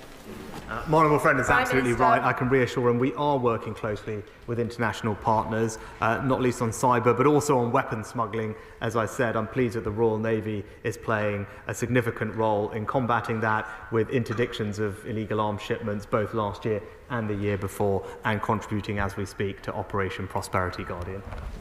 Uh, Andy McDonald. Madam Deputy Speaker, I just point out to the uh, Prime Minister that a nation state having the capacity to observe international humanitarian law is quite different to actually doing so. But at this terrifying moment for the world, I think we're all mightily relieved that Iran, which must be condemned for what it did, um, failed in inflicting serious loss of life on people in the region. And the de-escalation call uh, is correct, as is the commitment not to engage in offensive action. But it was explicit in his statement that all people are entitled to security and peace. But sadly for the people of Gaza, the calls for restraint have not worked. So what additional options is he considering? Because surely an immediate ceasefire, the funding of UNRWA, is the best way to secure uh, security for the region and also the release of all the hostages. Prime Minister. Well, it's important that the hostages are released. And that's what we continue to call for. And as the Honourable Gentleman knows, it was Hamas yet again this weekend that rejected the latest round of negotiations to get those hostages back to safety. I am anxious to be able to get everybody in, so I would um, plead for a, a brevity in the questions, please. Thank you. Uh, Jack Lepresti. Thank you, Madam Deputy Speaker. Could I place on the record my condolences to the Speaker and his family? Could I commend the Prime Minister for his statement uh, and the leadership he has shown? But given this despicable attack on the civilian population of Israel by Iran, does he agree with me that the world cannot risk a nuclear-armed Iran? And will he commit to the House today that he will support whatever it takes, including not taking military action off the table, to ensure that this nightmare never happens? Well, as Prime I said, Minister. there's no credible civilian justification for the enrichment levels that we've seen that the IAEA has uh, reported are happening in Iran. We're committed to using all diplomatic tools uh, to ensure that Iran doesn't develop a nuclear weapon, including using the snapback mechanism if necessary. Neale Hanvey. Uh, thank you, Madam Deputy Speaker. Uh, I oppose all acts of violence and uh, I welcome the Prime Minister's calls for de-escalation and restraint, but I can't be the only person who wonders where those calls for de-escalation and restraint were six months ago. And given those calls, does he share my concerns that the political fortunes of uh, Prime Minister Netanyahu, in whose hands such a choice rests, are so heavily invested in the continuation of conflict? We've continued to call on the Israeli government to do everything it can to protect civilian life as it exercises its indeed right and duty to ensure security for its citizens, and I'll continue to raise those points with Prime Minister Netanyahu. Bob Blackman. Madam Deputy Speaker, effectively over the weekend, Iran declared war on our friend and ally Israel. And clearly, when the Prime Minister talks to Prime Minister Netanyahu, he's going to have to be very careful about how he persuades him to exercise self-restraint. So clearly a menu of options has to be what the British government and what the British people are going to do in assisting Israel in resisting Iran. So the proscription of the IRGC, the removal of the embassy uh, here and, re and return of all those officials to Iran, our officials returning to the United Kingdom and the harshest possible sanctions against the regime in Iran are the fundamentals that are required. Uh, Ms, uh, Madam Deputy Speaker, we have already sanctioned over 400 different Iranian individuals and entities, including the IRGC in its entirety, and we continue to discuss with international partners how best we can coordinate future actions. Alex Davis-Jones. Thank you, Madam Deputy Speaker. Everyone in this House is united in wanting to see the fighting in Gaza come to an end as soon as possible, with a sustainable ceasefire in place. As the Prime Minister quite rightly states, it was once again Hamas who had rejected a US broker deal which would see the fighting stop, hostages released and allow far more aid to get into Gaza. So what pressure is the government applying to our allies in the region who provide support to Hamas to urge them to do all they can to make Hamas accept a deal? Minister. Can I thank the Honourable Lady for her question and agree with her? We're doing everything we can, talking to allies in the region to put pressure on Hamas to accept a deal and get the hostages released. That is the best and most important way we can move towards a sustainable ceasefire that we all want to see. Uh, Steve Double. Deputy Speaker, can I thank the Prime Minister for his statement and the clear leadership he's providing on this very important matter. As a beacon of liberal democracy in the region, uh, Israel's security is our security. And it's quite clear from the weekend that uh, serious loss of life was only avoided because of the effectiveness of Israeli defence mechanisms supported by the UK and others. Does, so does the Prime Minister share my concern that those calling for an arms embargo against uh, Israel are not only misguided, but they risk weakening Israel's ability to defend itself and encouraging those who wish Israel harm. Prime Minister.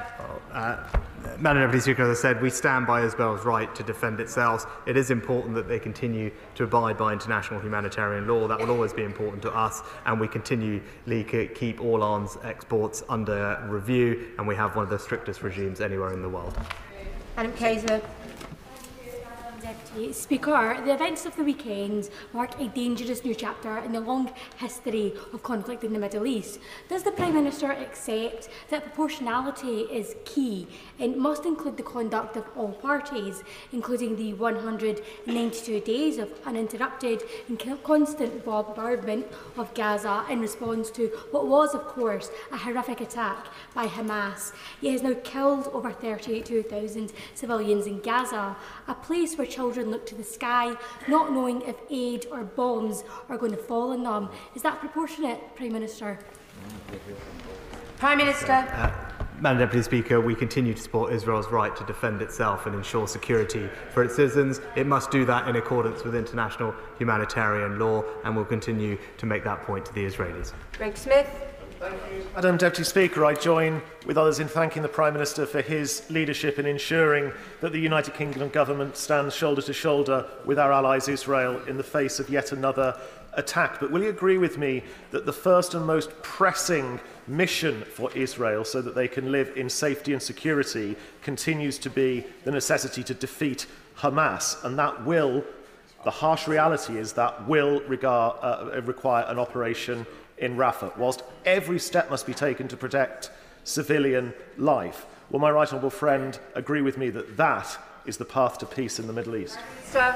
Uh, my honourable friend is right to highlight the threat that Hamas poses to the security and safety of the people of Israel. The Foreign Secretary set out in detail our view on the right approach to Rafah from this point forward just a couple of weeks ago. Andy Slaughter. Thank you, Madam Speaker. The Prime Minister rightly calls for restraint and de-escalation in the Middle East. Isn't there more chance that his words will carry weight if they advocate a ceasefire by all sides, including the warring parties in Gaza? Prime Minister. Oh, Madam Deputy Speaker, we have called for an immediate humanitarian pause in Gaza so that hostages can be released, aid can go in, and for that to form the basis of a more lasting and sustainable ceasefire.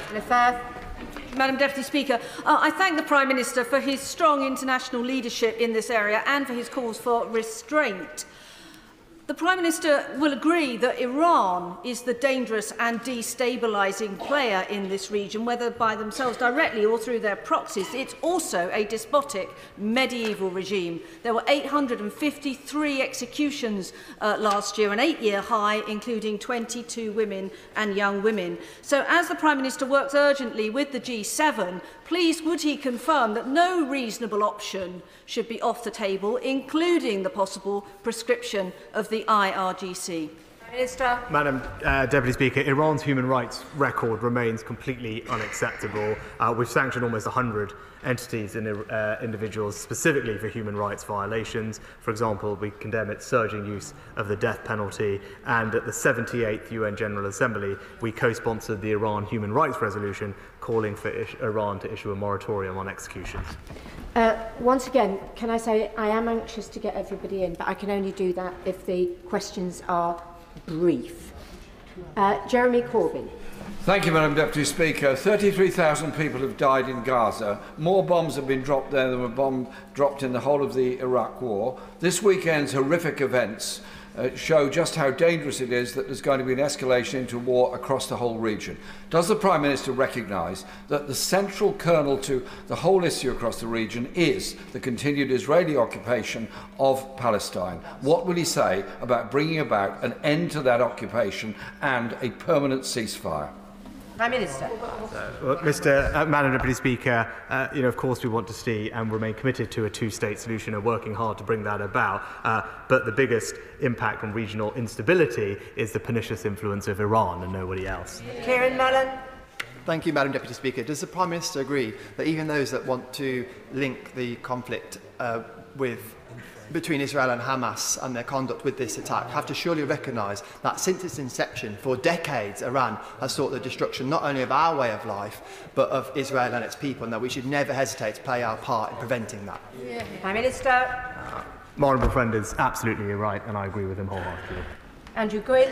Thank you. I also echo the calls for restraint and de-escalation. I was interested in what the Prime Minister said about uh, the diplomatic efforts over the last six months with the Palestinian Authority looking towards a two-state solution.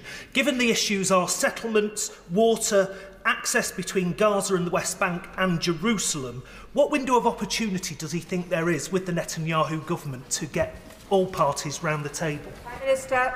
Uh, well, it's something we've continually pushed for, and in the meantime, what we've also focused on is building up the technical administrative capability of the Palestinian Authority so they are in a position to provide effective and strong governance for West Bank uh, and Gaza when the moment arrives when that is possible, something we work very hard to bring about.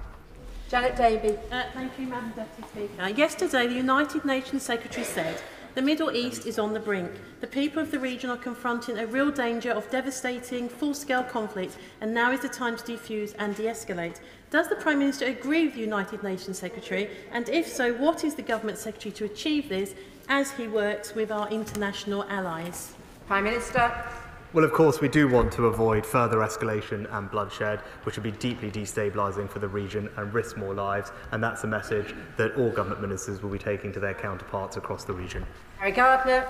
Iran sought to justify its unjustifiable attack on Israel on the basis that it was retaliating for Israel's attack uh, on its consulate. I welcome the fact that the Prime Minister has said that in his telephone conversation with Prime Minister Netanyahu later today, he will be urging de escalation. In that telephone conversation, will he set out the measures that the UK will take if, in fact, Israel seeks to retaliate further?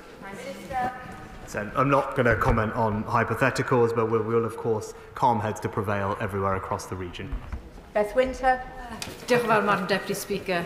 At the Security Council last night, the UN General Secretary did warn of the danger of devastating full-scale conflict and called for de-escalation de and maximum restraint. And today, in response, the Foreign Secretary said there could be, have been thousands of casualties and pressure for an ex escalation of this conflict. Does the Prime Minister agree with this? And does the Prime Minister also agree that the very real tens of thousands of deaths and casualties Israel's military attacks and imposed famine conditions have caused in Gaza are drivers of regional instability? Madam Deputy Speaker, we want to avoid further escalation and bloodshed, which would be deeply destabilising for the region and risk more lives, which is why we're calling on all uh, regional partners to focus on being calm and de-escalating the situation. Alison Toulis. My constituent Sama has been trying to get her mother, her father and her brother out of Gaza since this conflict began. They've been displaced multiple times. They are now in a tent in Rafah. They cannot apply. There is no scheme for them to come to safety in the UK. Uh, and the UK government has this in its hands. It could waive the need for biometrics if the government so decided to. Will the Prime Minister do this and let Samus Fama come to safety? Uh, obviously, I'm not aware of the specifics of the Honourable Lady's case, but I'm sure if she writes to the Home Office, they'll be happy to look into it for her.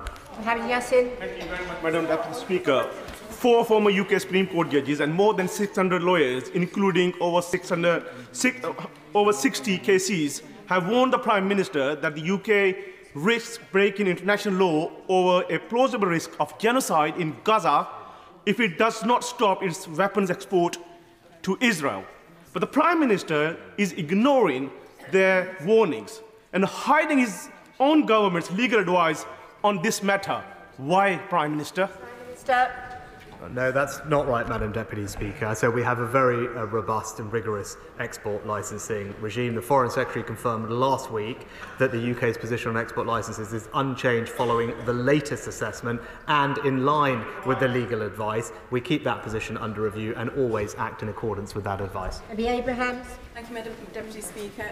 The Middle East um, has entered a very dangerous uh, new phase, uh, which can only be resolved by diplomatic and political solutions. So can I push the Prime Minister on what he uh, said earlier in terms of the sanctions that he is considering with international allies um, in relation to um, Iran, including the prescribing of the IRGC? And will he also confirm um, that the UK will not be uh, taking part in any offensive action of Israel's? Uh, uh, Madam Deputy Speaker, no, we acted in a defensive uh, capacity and we're discussing with G7 allies further diplomatic measures that can be taken uh, in a coordinated fashion. Stephen Farrett. Um, Iran's attack on Israel and the nature of the Iranian regime. The Prime Minister says he wants to see stability in the region, but surely there must be honesty and transparency that Israel itself is a threat to stability and has already systematically broken international humanitarian law. The government has no reluctance in rightly challenging Russia over Ukraine in that regard, but why the reluctance in, in relation to Israel and indeed to publish the associate legal advice? Minister. I said I, I, don't think there's any equivalence between what Vladimir Putin is doing in Ukraine and what Israel is doing to ensure the security of its citizens in the face of an appalling terrorist attack. Christian Wakeford. Thank you, Madam Deputy Speaker. It's been over 15 months since it was reported that prescription of the IRGC was imminent. Since then, Iran has continued to fund and supply Hamas, Iran has continued to fund and supply Hezbollah, and Iran has continued to fund and supply the Houthis. Following this continued funding for terror and destabilisation, what more does Iran have to do before the IRGC is prescribed? Prime Minister. As I said, the police, security services and courts all have the tools they need to sanction, prosecute and mitigate the threats from Iran. We strengthened our Iran sanctions regime recently, and the IRGC is sanctioned in its entirety. Helen Hayes. Thank you, Madam Deputy Speaker. The Prime Minister said in his statement um, that it was important that aid gets into Gaza, and then he said a few moments ago that the government was right to take its time to decide on the restoration of funding to UNRWA. Madam Deputy Speaker, The organisational infrastructure of UNRWA is unparalleled and it cannot be replicated. A further delay on the part of the UK government will cost further lives in a context in which famine is taking hold. Can I urge the Prime Minister to think again and to set out a path today for the restoration of funding to UNRWA?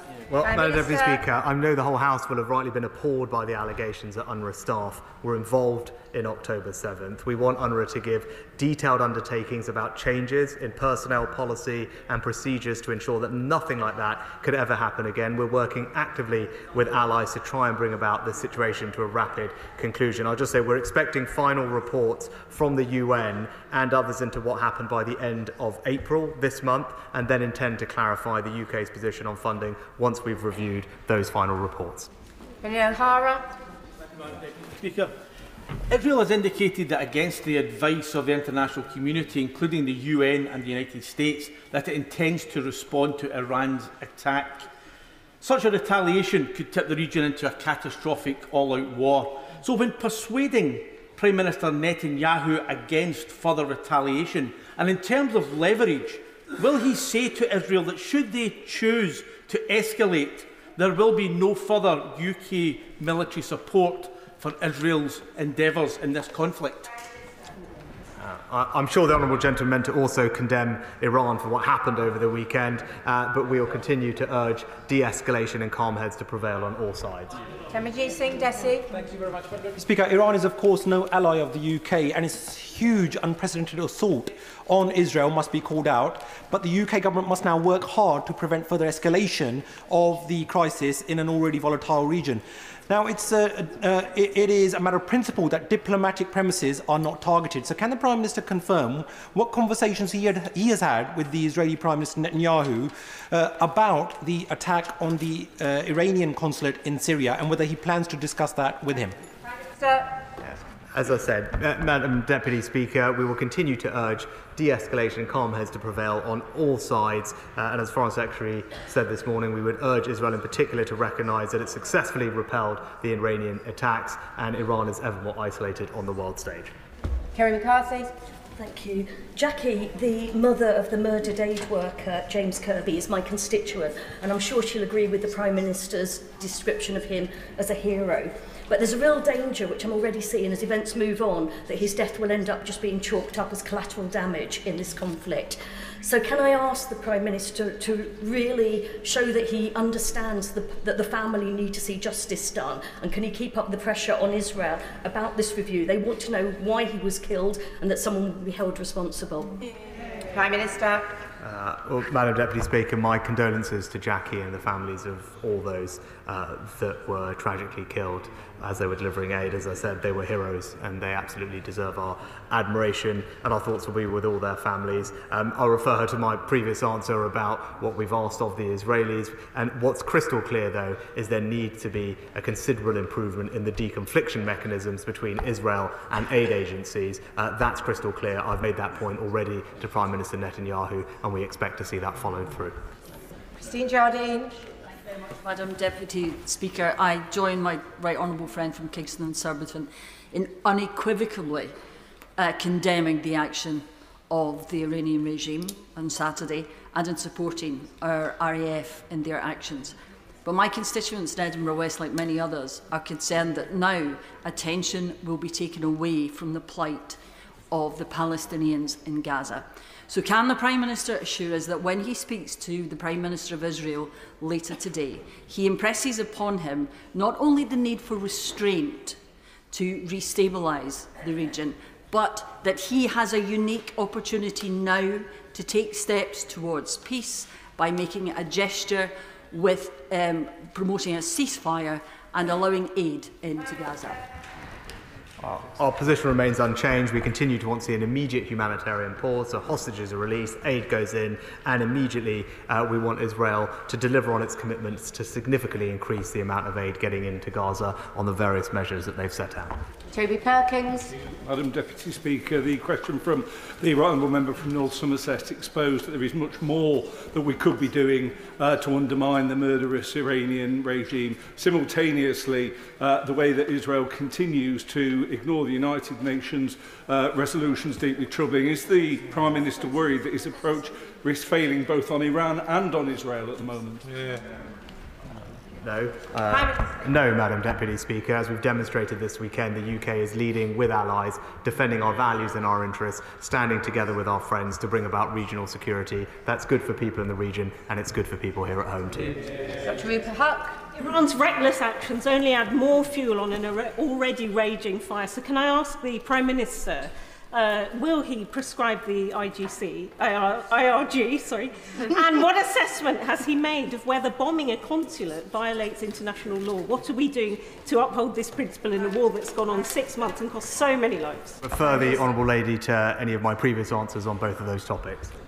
Emma Hardy. Thank you, Madam Deputy Speaker. In response to my honourable friend, the Prime Minister said he would take the time to set future approach to UNRWA right. So as the famine continues, I wonder, Prime Minister, how much time he actually needs before he makes up his mind to restore funding and get aid to the people who need it. Yeah. Prime Minister. Uh, what the Honourable Lady failed to mention was the shocking uh, allegations of people being involved in UNRWA, being involved in the, the massacre on October 7th. It is right that that is properly investigated and new procedures are put in place to ensure that that could never happen again. Those final reports which have been commissioned are due at the end of April. Once we review those and we're already in dialogue with our partners, we'll set out our future approach. But that's not to say we are not already doing an enormous amount to bring more aid into the region. We've tripled our commitment and right now are delivering aid by land, sea and air. We're taking a leading role and everyone in this House should be incredibly proud of what the UK is bringing to the table.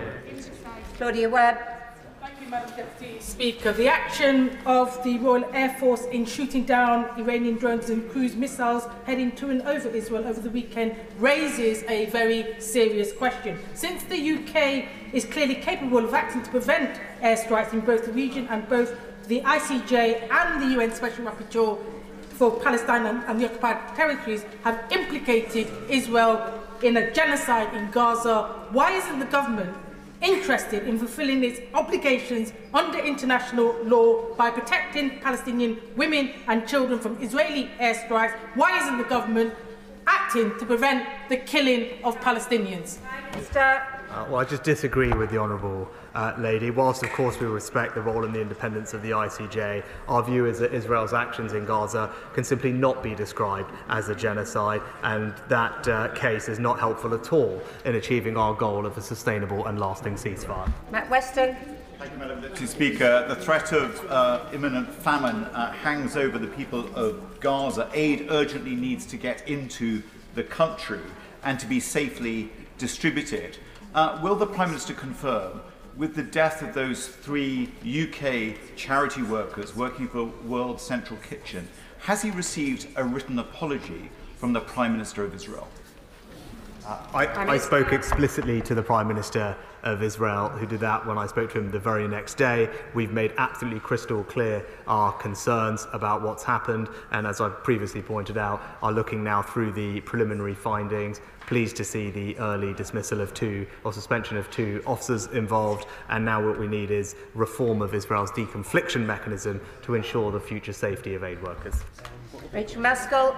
Thank you, Madam Deputy Speaker. In speaking to the Prime Minister of Israel this evening, in calling for restraint, will he put that into action? So should the Prime Minister call, uh, say that he will further assaults in, in Gaza or indeed impede aid?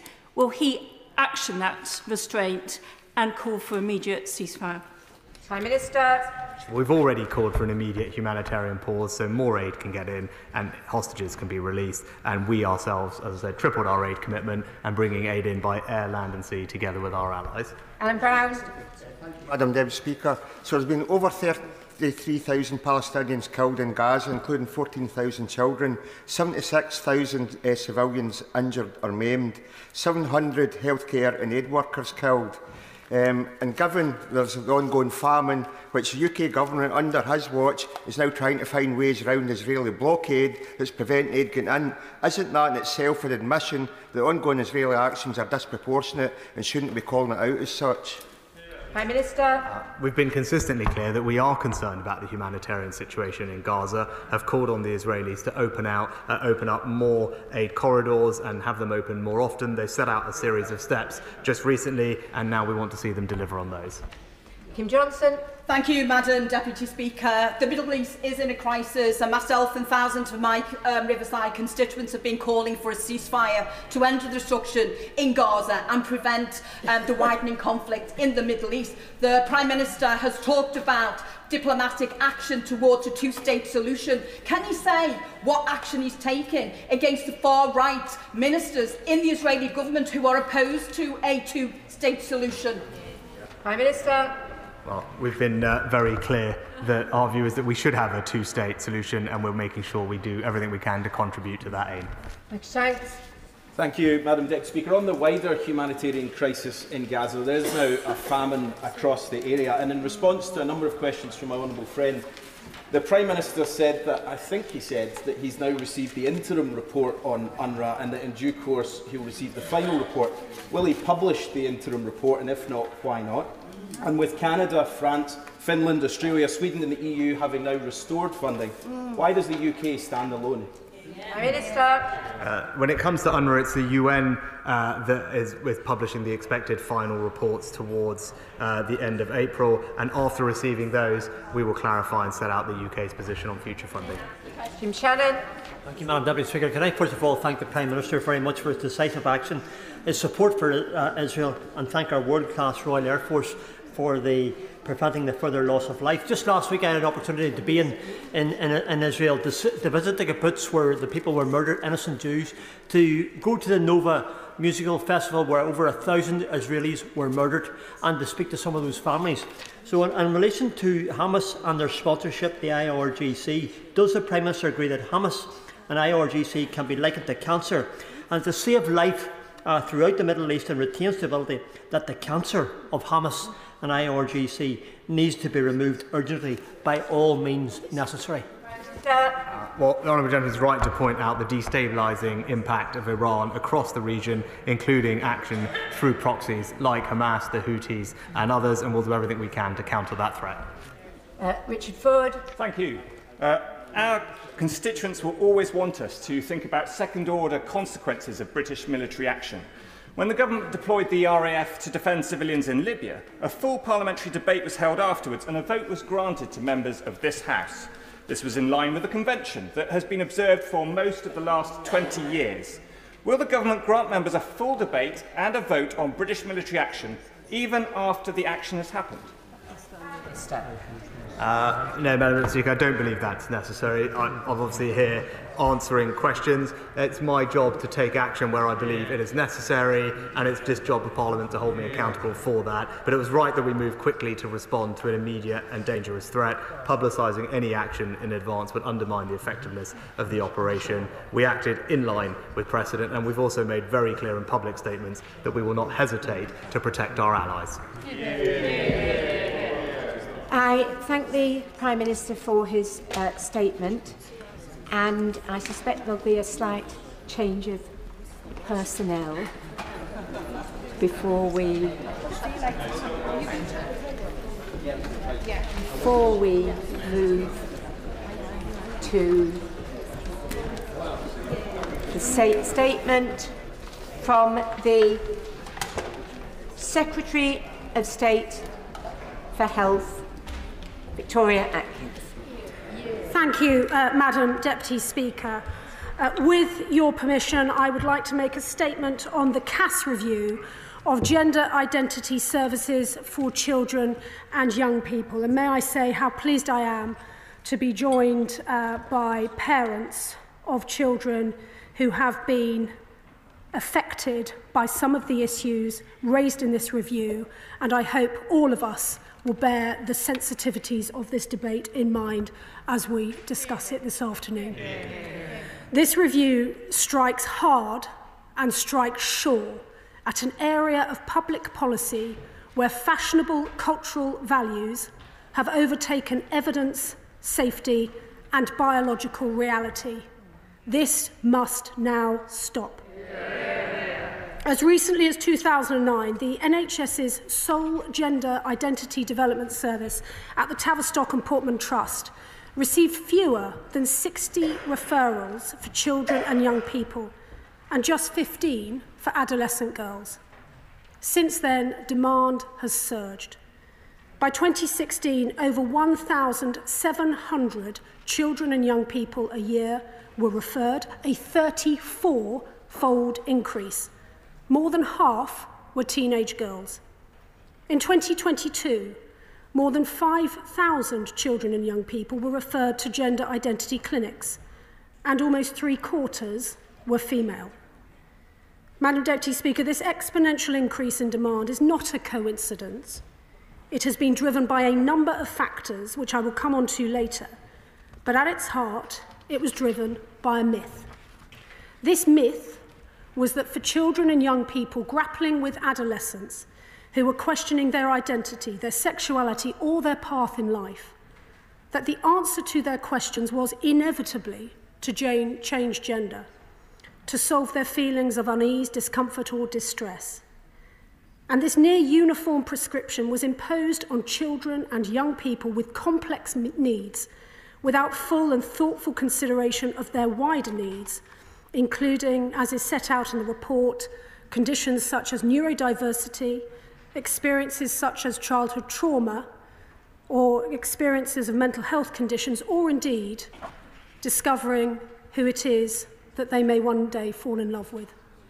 Indeed, a response from some of the people who should have protected them, some of the clinicians in charge of their care at the Tavistock Clinic, was almost always to put them on an irreversible path blocking puberty, then the prescription of cross-sex hormones, and onto surgery as an adult.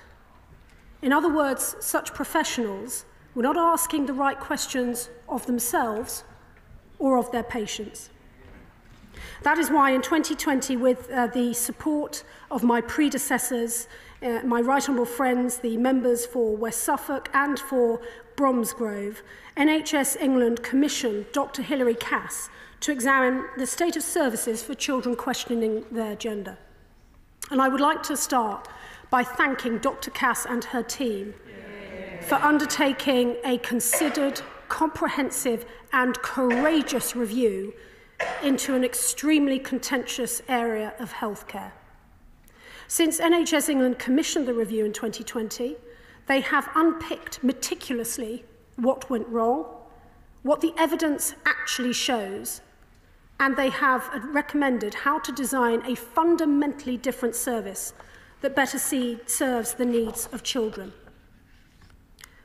But I must also thank those who raised the alarm and contributed to the review over the last four years.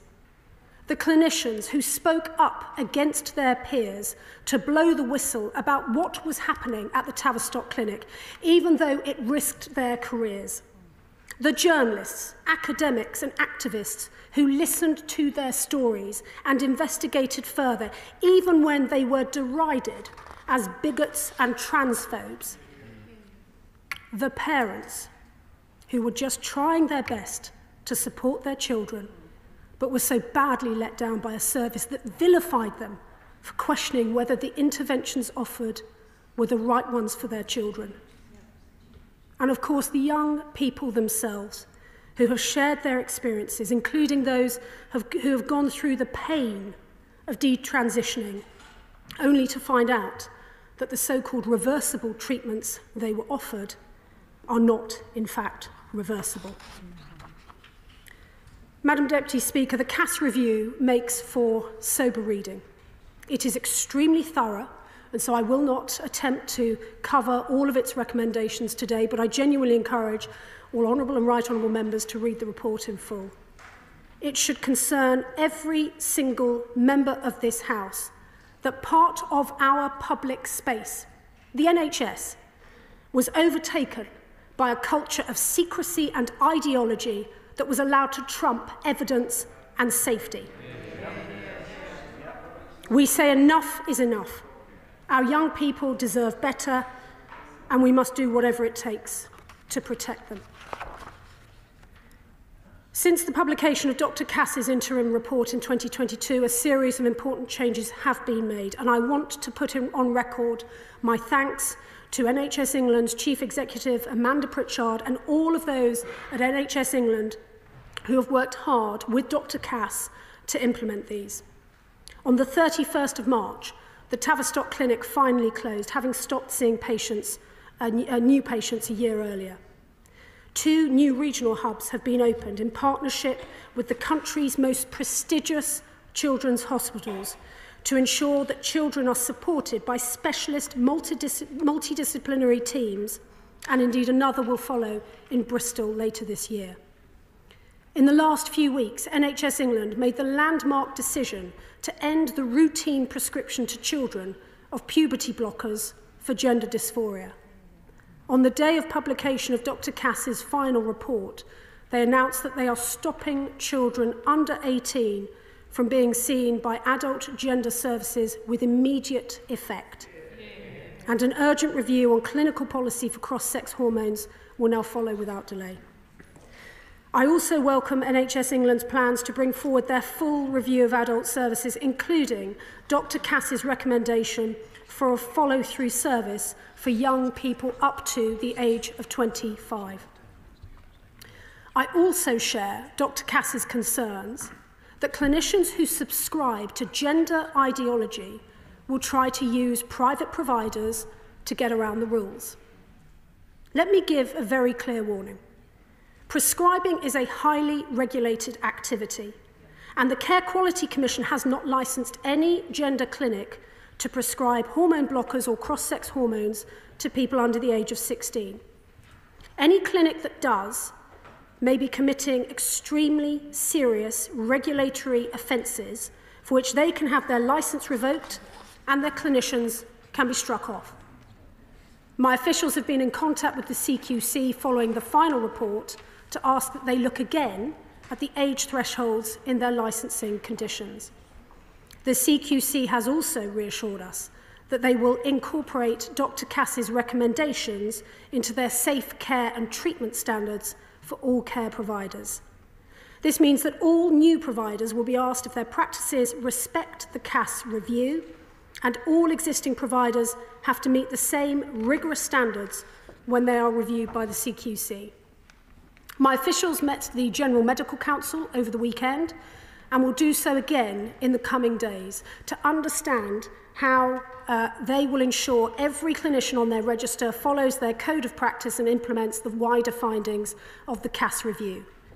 It is morally and medically reprehensible that some online providers not registered in the UK have stated their intention to continue to issue prescriptions to children in this country, and I am looking closely at closing, what can be done to curtail any loopholes in prescribing practices, including legislative options. Nothing is off the table, and I will update the House in due course as we progress this work at pace.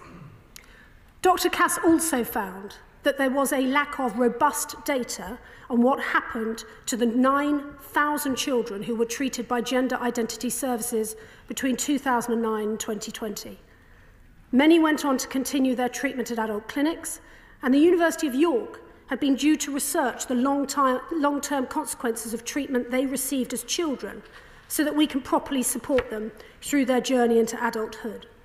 It was expected to provide important insights into the clinic's work, including how many patients detransitioned, how many were also diagnosed with a mental health condition or uh, an autism spectrum disorder.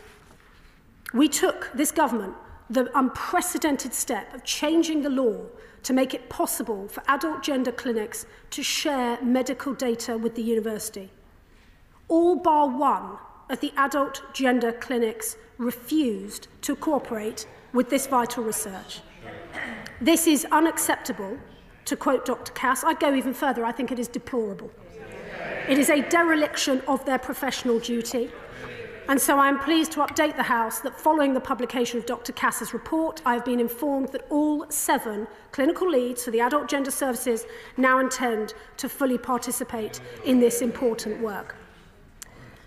Dr Cass also concludes that a cultural shift alone does not adequately explain the huge growth in young women being referred to gender services.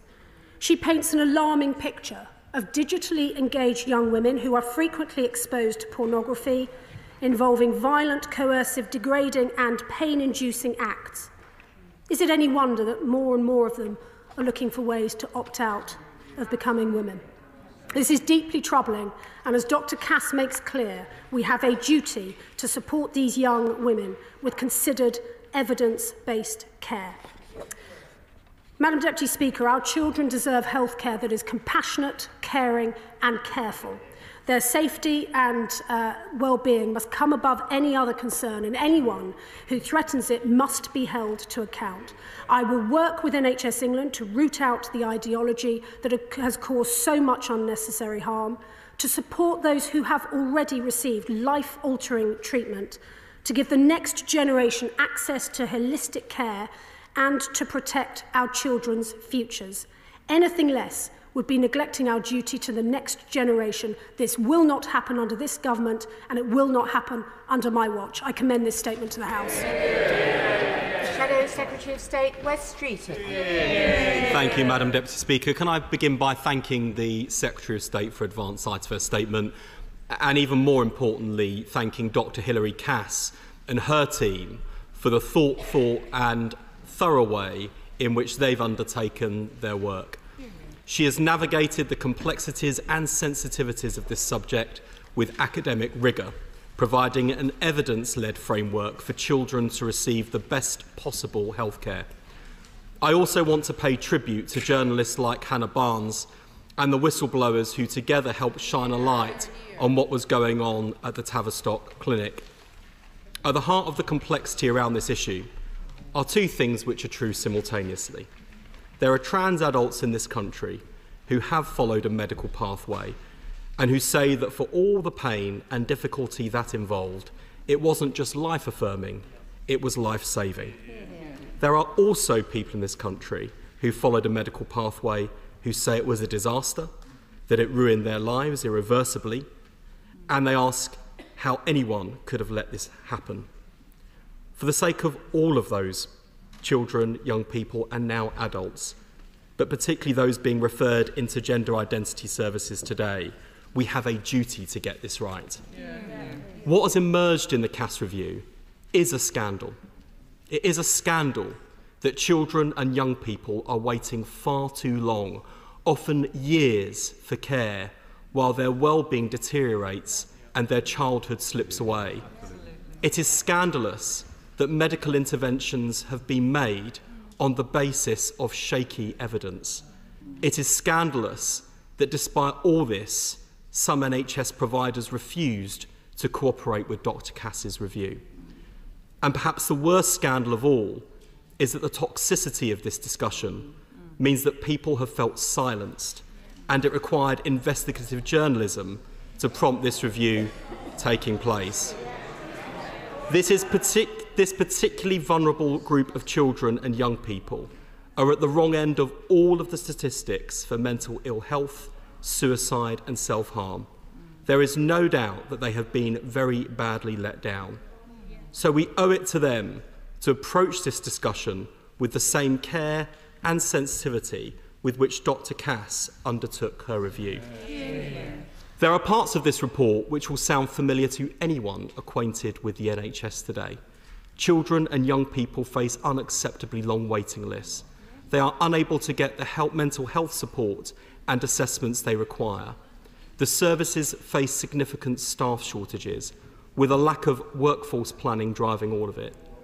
As with so many parts of the NHS today, this report paints a picture of a service unable to cope with demand. Dr. Cass is clear that care must be personal and holistic. So, can the Secretary of State set out how she plans to cut waiting times for assessments for mental health and neurodevelopmental conditions. Waiting lists are so bad in some cases that children are passing into adulthood before they have had their first appointment with gender identity services, leaving them facing a cliff edge. Cass recommends follow through services up to the age of 25 to ensure continuity of care. Can the Secretary of State provide an indication of how long she thinks it will take to establish these services? Madam Deputy Speaker, Labour welcomed the decision taken by NHS England last month to stop the routine prescription of puberty blockers to under 18s. The loophole that now exists for private providers risks sparking a black market. The Secretary of State has said she expects private clinics to follow the recommendations in this report, indeed, to follow the evidence. Can I underline our support for her expectations on compliance? And can she give an indication as to whether she thinks further regulation may be needed to ensure adequate enforcement of the recommendations? Madam Deputy Speaker, the refusal of adult gender services to share data of the long-term experience of patients is inexcusable, as the Secretary of State said, and I agree, it is deplorable. The data does not belong to them. It belongs to the NHS and, crucially, to patients. Of course, I welcome that they are now coming forward, but I also ask the Secretary of State how this was allowed to happen and what accountability she thinks would be appropriate. Madam Deputy Speaker, this report must provide a watershed moment for the NHS's gender identity services. Children's healthcare should always be led by evidence and in the best interests of children's welfare. Dr Cass's report has provided the basis on which to go forward. The report must also provide a watershed moment for the way in which our society and our politics discuss this issue. There are, there are, there are children and young people in this country and adults, including trans children and young people and adults, who are desperately worried and frightened by the toxicity of this debate. There are healthcare professionals who are scared to do their job and make their views known. And Dr. Cassis said, and I quote, toxic, ideological and polarised public debate has made the work of the review significantly harder and she says it will hamper the research that is essential to finding a way forward. So in conclusion, Madam Deputy Speaker, can I say that in, even in this, a general election year, there is surely one issue on which we can down tools and work together, and that is in pursuit of the healthcare of vulnerable people. And, and can I also pay tribute to the Right Honourable Member for Bromsgrove? We had many scraps across the dispatch box, but his role in commissioning this review, he deserves our thanks and respect. And I hope that I can work constructively with the Health Secretary to put children's health and well-being above the political fray. Chief State. I welcome all of those who have changed their minds about this critical issue. Because in order to move forward and get on with the vital work that Dr. Cass recommends, we need more people to face up to the truth, no matter how uncomfortable that makes them feel. And so I say to the honourable gentleman opposite me, I hope he has the humility to understand that the ideology he and his colleagues espoused was part of the problem. He talks about the culture and the toxicity of the debate. Does he understand the hurt that he caused to people when he told uh, them to just get over it? Does he know that when his, he and his friends on the left spent the last decade crying culture wars where legitimate concerns were raised, an atmosphere was in, of intimidation was in, created and had the impact on the workforce that he has rightly described. They were scared or worried to go into it. And does he now have the good grace to apologise to those who have been maligned in public life, including his own female colleagues? Yeah and for the chilling effect that this has had on clinicians, journalists and campaigners who were trying to raise the alarm. I say this because I, you know, I want to believe the honourable gentleman when he says he has turned a corner on this. We now have to start with a new page for the sake not just of the um, children and young people that we are looking after, but also for the sakes of their families, many of whom will be watching this, living with the consequences of this ideology and this secrecy, wondering how on earth uh, the Honourable Gentleman is talking about general elections when for them, every single day, every single minute that their children have to live with the treatment they have dealt with uh, will never, ever be reversed. Uh, Dame Jackie Doyle Price. That was fantastic. Madam Deputy Speaker, um, this report is clearly very welcome, but has frankly been a long time coming. But one of the issues I'd really like to put to my right honourable friend is really the whole failure of governance that this uh, shows. NHS England's Specialist Commissioning in particular require challenge here because what was initially commissioned, as she's explained, as a treatment course for a small minority of people has been allowed to expand unchecked and without any, any consideration of the ethics of what was being done to children. So can she tell me what she's going to do to make sure that doesn't happen again? And secondly, the Tavistock clearly enjoyed the popularity that it was brought to that institution by being at the front end of what was seen as a cutting edge set of, of treatments. Uh, frankly, the governors allowed that to get in the way of what they should have been doing, which was patient safety. So could she also tell me what she prepares to do about that too? Uh, may I thank my honourable friend who, uh, in uh, her parliamentary career, has done so much to shine a light on this sort of behaviour, but also the worries that she has espoused, uh, both publicly and privately, about the uh, children, the young people at the heart of this. Uh, so in terms of what we are looking to the future, uh, the Tavistock Clinic has shut. It stopped, as I say, admitting patients a year ago.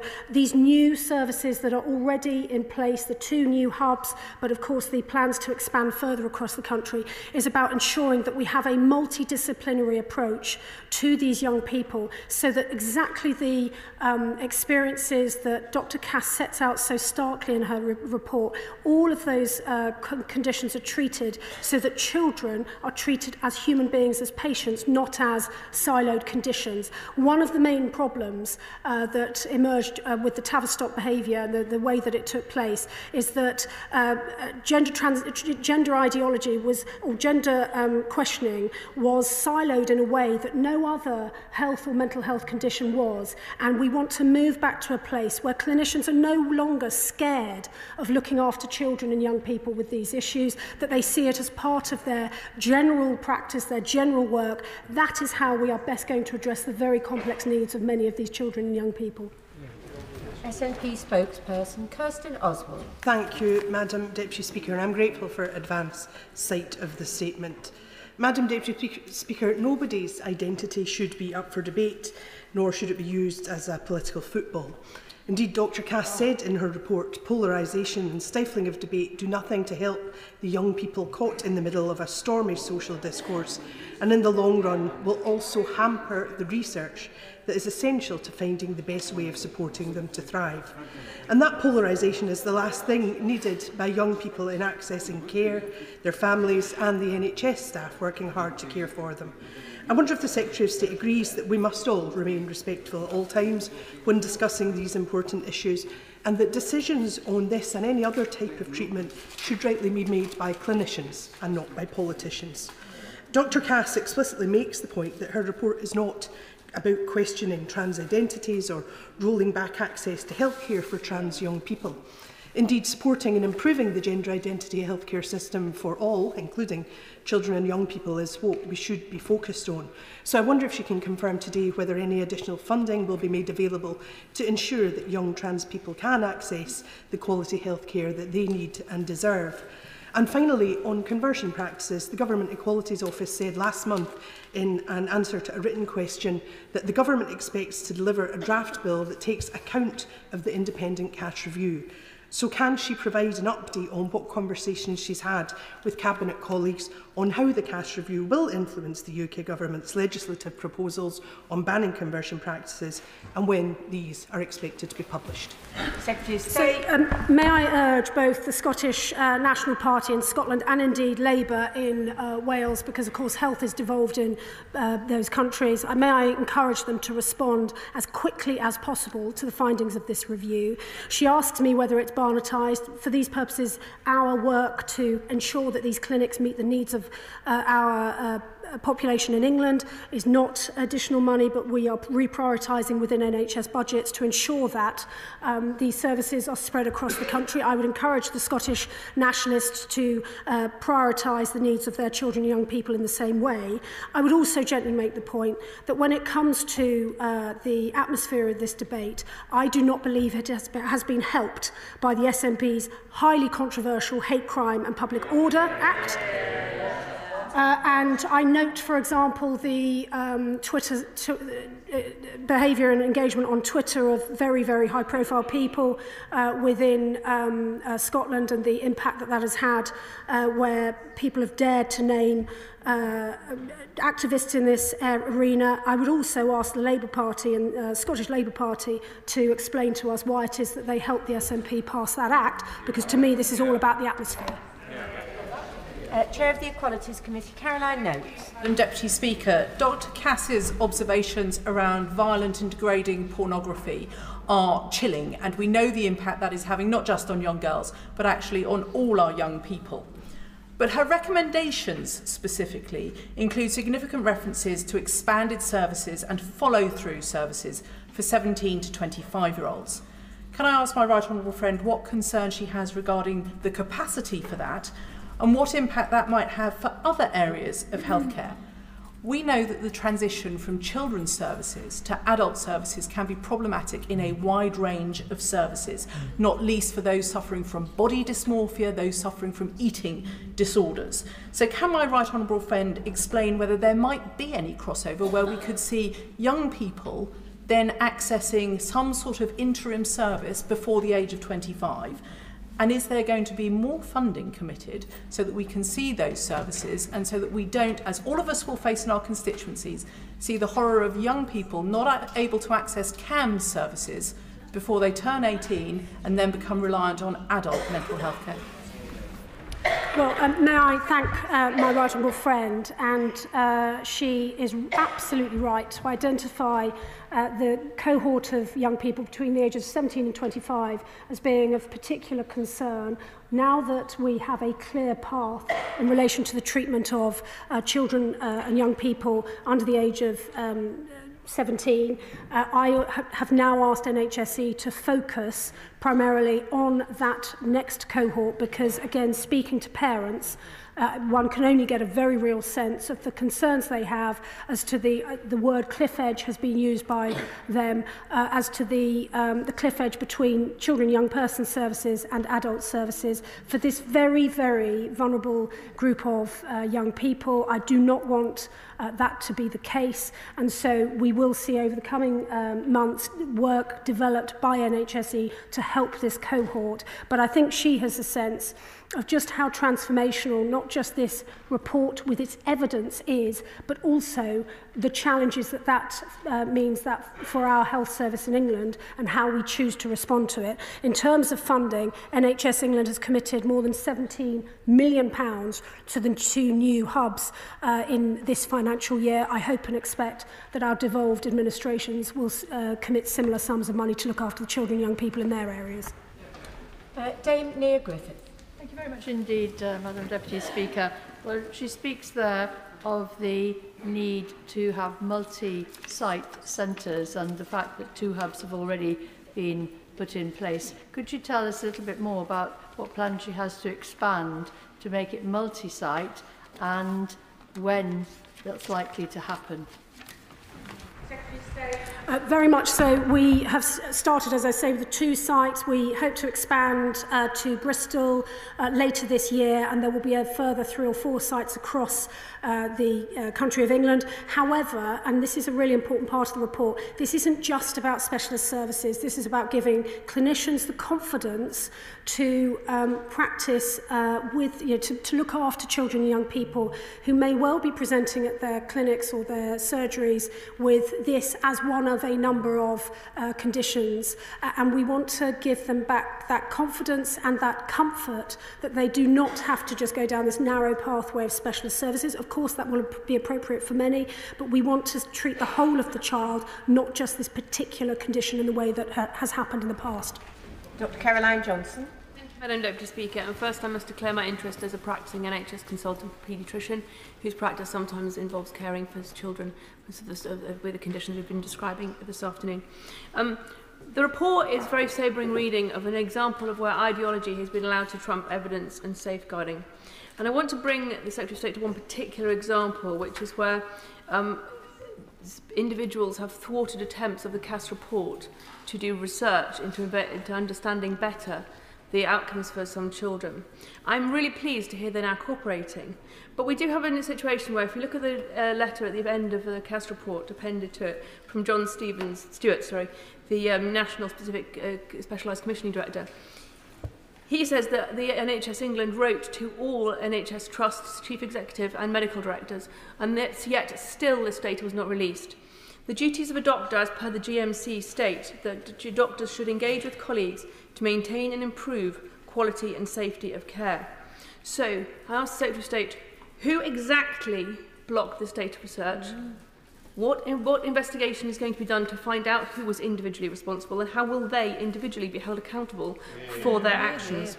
How was it possible in the first place for this, uh, them to do so? And what is she doing to ensure that data cannot be blocked in this way in the future? Well, um, I'm extremely grateful to my honourable friend who brings her clinical expertise and experience into this chamber in this very, very uh, important debate. Um, in terms of the precise questions of who did what when, uh, I hope she'll understand it. I've, I've been working uh, at pace over the last few days with this report. I have asked these questions and I will update the House uh, when I'm in a position to do so. But But I would draw the House's attention back to the expectation, not just the moral expectation, but the professional expectation for the medical profession now, in light of this review. And the evidence it has produced, is that, that clinicians and medical professionals will act in accordance with these recommendations, which will mean that when regulators look at the conduct of uh, medical professionals, they are doing so against this backdrop and against these expectations, so that if there are uh, people who are operating under the misguided apprehension that uh, their ideology trumps this evidence, then I wholly and fully expect the regulators to crack down on that. Uh, I am very anxious to make sure that everybody um, can get in because I know it's an important statement. But we do need to make sure that the, the questions are brief so the Secretary of State is able to be brief uh, in response. We do have a big debate um, on the Rwanda bill, followed by another debate um, on the hospice movement, and I'm sure that uh, many of those colleagues will be wanting to participate in those as well. So perhaps if we can just bear that in, in mind in thinking of the questions. Uh, Rosie Duffield. Yeah. Yeah. Thank you, Madam Deputy Speaker. Firstly, I'd like to thank the Secretary of State for her thoughtful and considered statement on the Cass Review, especially in mentioning the journalists such as my friend Hannah Barnes, who blew the whistle on the Tavistock Clinic. As she says, those who've raised this issue over the last few years desperately concerned about the safeguarding of vulnerable children and young people, too young to make life-changing decisions, are owed a heartfelt apology for being no platformed, ghosted, sidelined and disciplined at the behest of a few extreme groups of activists, some within political parties. Does she agree that academics, politicians, writers, psychologists, psychologists actors and anyone questioning their workplaces signing up to Stonewall law have now been vindicated by Dr Cass's expert review and does she agree that they should be apologised to? Well, Madam Deputy Speaker, I come to the uh, dispatch box with huge admiration for the Honourable Lady, uh, for the, uh, the, the commitment she and others on uh, the Labour backbenchers have shown, even though they were doing so in a, in a culture and an atmosphere where their views were um, demeaned, they were sneered at, they were castigated for so doing. Indeed, I hear rumours that uh, there were efforts made to remove certain members from the party itself. This is why, this is the moment now for uh, apologies, for humility, but also for us to have start with a clean page and ensure that when perfectly reasonable questions are asked about the medical treatment of our children, those questions are allowed to be asked in an atmosphere of respect and understanding so that these very, very vulnerable children and young people are looked after in a caring and careful way. Uh, Miriam Cates. Yeah. Madam Deputy Speaker. And I, I warmly welcome the CAS review and its findings and an extraordinarily strong statement from my wrong, uh, right honourable friend. I've no doubt uh, that what happened at JIDS will go down as one of the worst safeguarding and uh, medical scandals of our generation. But I want to pay tribute to the very brave parents, including those in the Bayswater support group, who have been raising concerns about this for years, raising concerns about the ethics and the safety of putting vulnerable children on irreversible and unevidenced medical pathways to achieve something that can never be achieved, which is to change yeah, their sex. Yeah, yeah. But those who spoke up for the interests of children and frankly for the interests of common sense were labelled bigots, transphobes, transphobes and even fascists. Yeah. And even after those concerns were raised and Dr Cass was commissioned, the Tavistock was allowed to continue to practice, which was a shocking suspension of the precautionary principle. This scandal happened because too many adults put their own desire for social approval mm. above the safety of vulnerable children. Yeah. How can we make sure that that does not happen again? Yeah. Well, as my honourable friend was asking that question, there were people on the benches opposite tutting her And that shows that whilst some understand the need to keep this debate about the clinical and compassionate needs of these children, there are still people on the bunches opposite who don't get it. And, and the idea that the deputy leader of the Labour Party, for example, would sign a charter in 2020 describing bodies like the Women's Place UK, which campaigns, dare I say it, for single, specs, single sex rape refugees, something that the House knows I have an enormous commitment to, that apparently is trans-exclusionist hate groups. That sort of language is the language that needs to be apologised for so that we can all move on because we are expecting clinicians, we are expecting medical professionals to do the right thing by this report and by our children and young people. There needs to be some leadership from all of us in, the, in public life to ensure that we are setting the right examples to those people. Christine Jardine. Thank you very much, Madam Deputy Speaker. Um, at its heart, the cash report sadly um, highlights the lack of care or the, la or the low standard of care uh, for our young people. Yeah. That they were caught yeah. up in a toxic debate. There were long waiting lists, and indeed that debate seeped into the staffing of the medical profession. So would the, the Secretary of State agree with me now that we have to look at the well-being of our children, look at it holistically, and could she tell us how she's going to overcome the recruitment problems and the staffing problems that have been created by this toxic debate? May, may I thank the Honourable Lady, uh, if I may say so, someone else actually who has an exemplary record of campaigning on this. Um, the, this comes down to the uh, very, very careful review that Dr Cass has herself written. It, it, we have to get away from this idea that if a child presents with gender distress, uh, that that is the only part of their health that we care about that we look into? Of course not. We have to look across the board to ensure that we are looking after every single part of them and also not assuming that medical pathways are the only and inevitable uh, pathway for them. I think one of the problems and one of the concerns that have been raised about the, you know, the, the terrible, terrible mental health um, that many children and young people suffer uh, in, these, in this report is that that wasn't being looked after. They were just put on these drugs and expected to get on with it, if you like. And that is wrong, and we are determined to change that. Paul Bristow. Deputy Speaker, what was the Secretary of State's reaction to the news that almost all gender clinics refused to cooperate with the CAS review? And does she agree that this is a too important issue for a circle the wagons attitude, what can she do to ensure that government guidance is followed to the letter and in spirit when we tackle a gender ideology that seems to be running rampant through our public institutions? Yeah.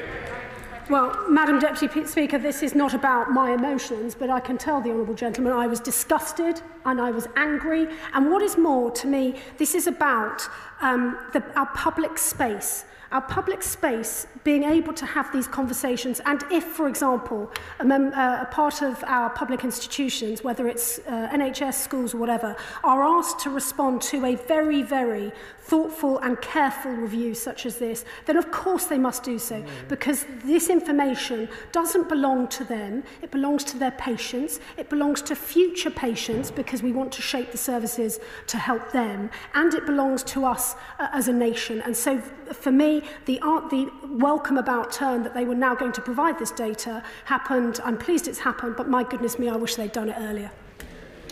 Uh, Dawn Butler. Thank you, Madam Deputy Speaker. Um, all trans children and young people deserve access to high quality, timely healthcare and support. Mm. There are around 100 studies that have not been included in this Cass report and we need to know um, why. The, the Minister obviously is not concerned about the way the CAS report has been used to uh, perpetuate a broader hostile environment towards trans people in the UK, created in part by the government's delay to the GRA. Misrepresenting the report and this high and mighty attitude from the minister helps no one. Will the minister commit to extra funding needed to help young people have a holistic approach to their healthcare pathway? So I'm not quite clear whether the Honourable Lady supports this report or is castigating it. I, I, I, I'm, I've no idea whether she supports it or not.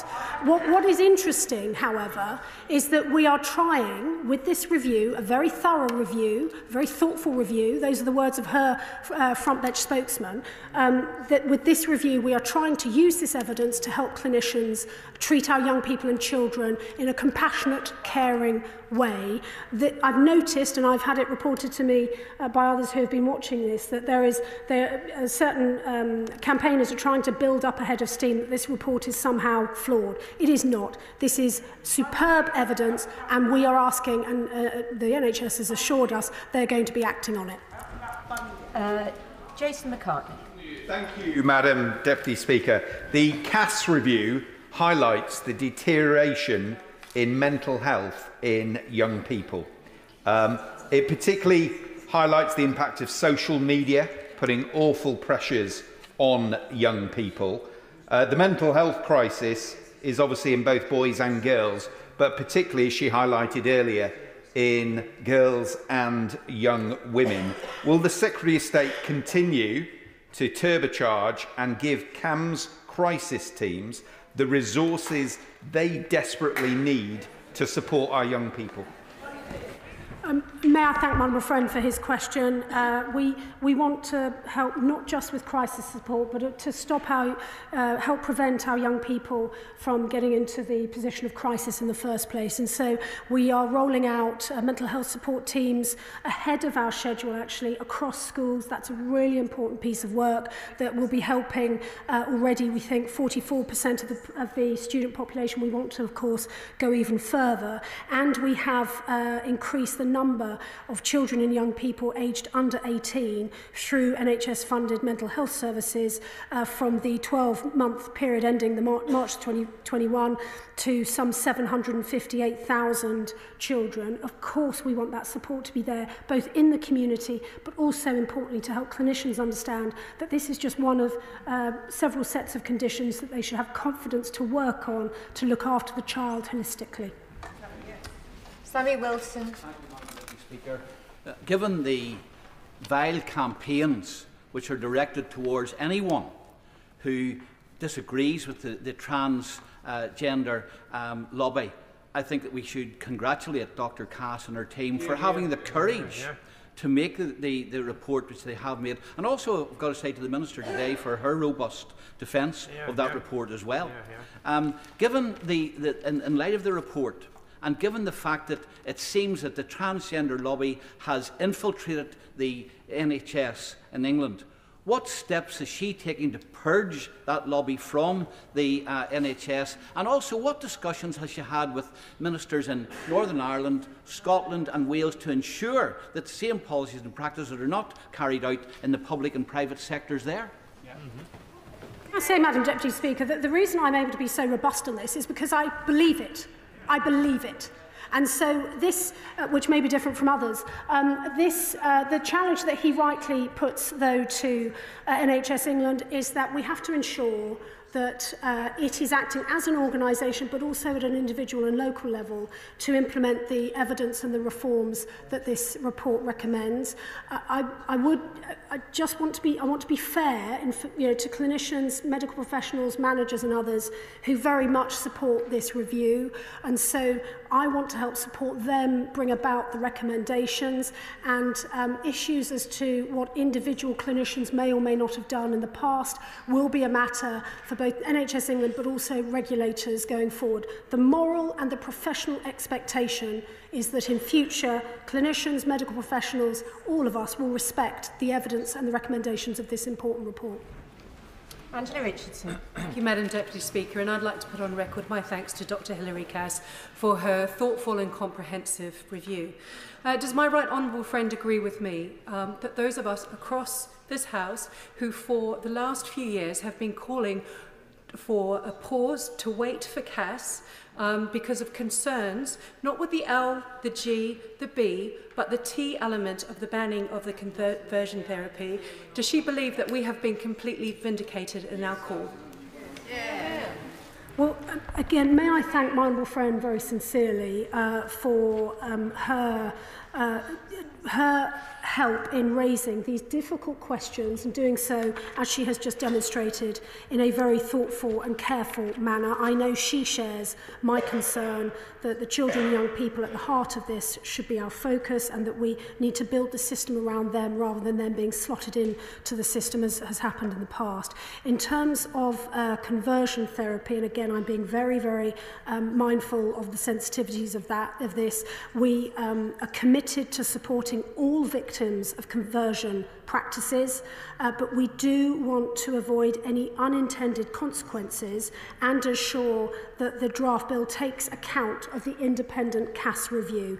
And so that is why uh, my uh, Cabinet counterpart, Minister for Women and Equalities, is leading the work in this area and very much considering this very complex issue as part of our approach to this sensitive and important matter. Antonia, Antoniazzi.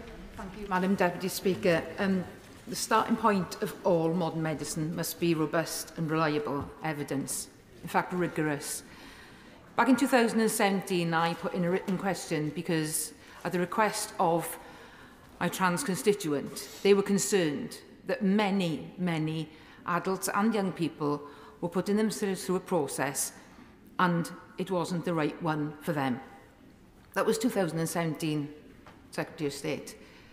And we still haven't had much better data. And the data is the most important thing that we know that informs everything. There has been a chilling effect in this chamber. There has been a chilling effect on social media for people that have spoken out, that have asked questions like that. Questions you ask for everyday healthcare, and we have denied that, and the government has denied that for the children in our care. So please, Secretary of State, the member for Ilford North has been fantastic. He has shown great maturity and reflection on his comments in the Chamber and in the media. So has the Secretary of State. But please, from one that has been at the other end of this to the Secretary of State, let's absolutely get the tone right of this debate and let's absolutely move forward. The cash report is a great thing. We have to work with it to deliver the best outcomes for the children in our care. Well, again, I approach the dispatch box with humility because I know the journey and the debates and the questions that she has put forward, not just on behalf of that particular constituent, but on the wider issue of women and the treatment of women within uh, uh, healthcare, but also um, other parts of public life. Um, I've, I very much want us to view the future as a clean sheet so that we can build the, the services around the children, as I say, rather than expecting them to slot in to the convenience of some of the arguments that have been put forward in the past. But there is, and I think we have to acknowledge this, this has been such a long and toxic debate that there will be people who want answers. And I appreciate the fact that the Honourable Gentleman opposite uh, has uh, walked back some of his comments, but I do think It is important we acknowledge the toxicity so that we can move on and achieve exactly what she and I and others around the chamber, and interestingly, the people opposite are, are now, you know, they're now chanting from a sedentary position. Um, interesting that I, I think we can make a real change, but a little less sniping from the sidelines, a little more constructive work is what is needed. Nick Fletcher. Deputy Speaker, I have called out this ideology locally and here in Westminster with colleagues at every opportunity available to me. At last, it appears the world is waking up to this issue. Sadly, we know of at least 9,000 children who have been affected by this scandal, possibly damaged for life. So firstly, I asked the Minister if she will establish a public inquiry into this issue. Secondly, alongside reforms to the NHS, we must re-establish safeguarding in schools – Will the Minister liaise with the education colleagues to fix our statutory safeguarding yeah. guidance, yeah. keeping children safe in education?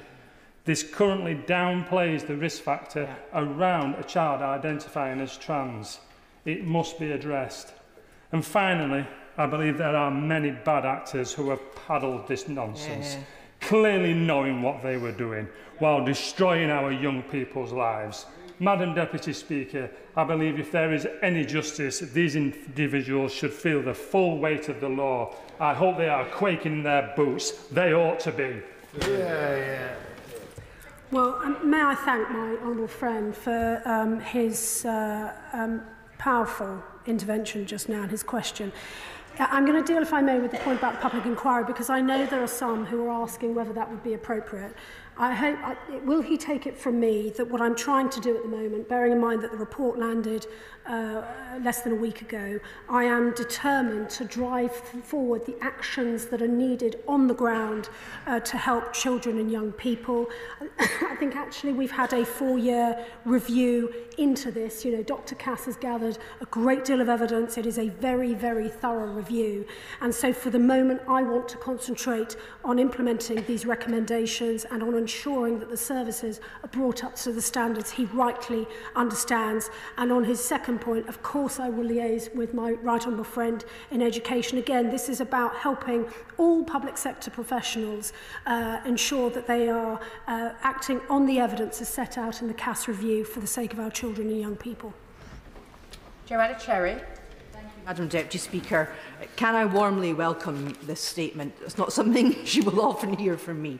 But as she said, the Cass report has vindicated the concerns of many whistleblowers, including feminists and LGB activists who warned of the consequences for children of unevidenced medical interventions and the ideological capture of the NHS.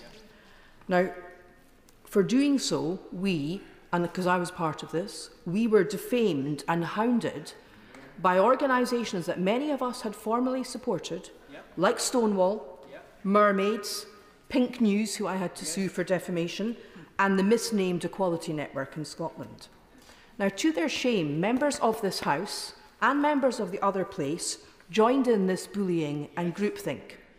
So while I hear what she has to say about a public inquiry and about her immediate focus being on implementing the recommendations, it does seem to me that we do need a public in inquiry into how this institutional capture happened in our public bodies. And as we all know, it's not just the NHS, because we need to make sure that never again do ideologues of any sort or science deniers take hold of our public institutions. So when she's done with implementing the recommendations, or as she's doing that, will she support the movement for a public inquiry into these matters.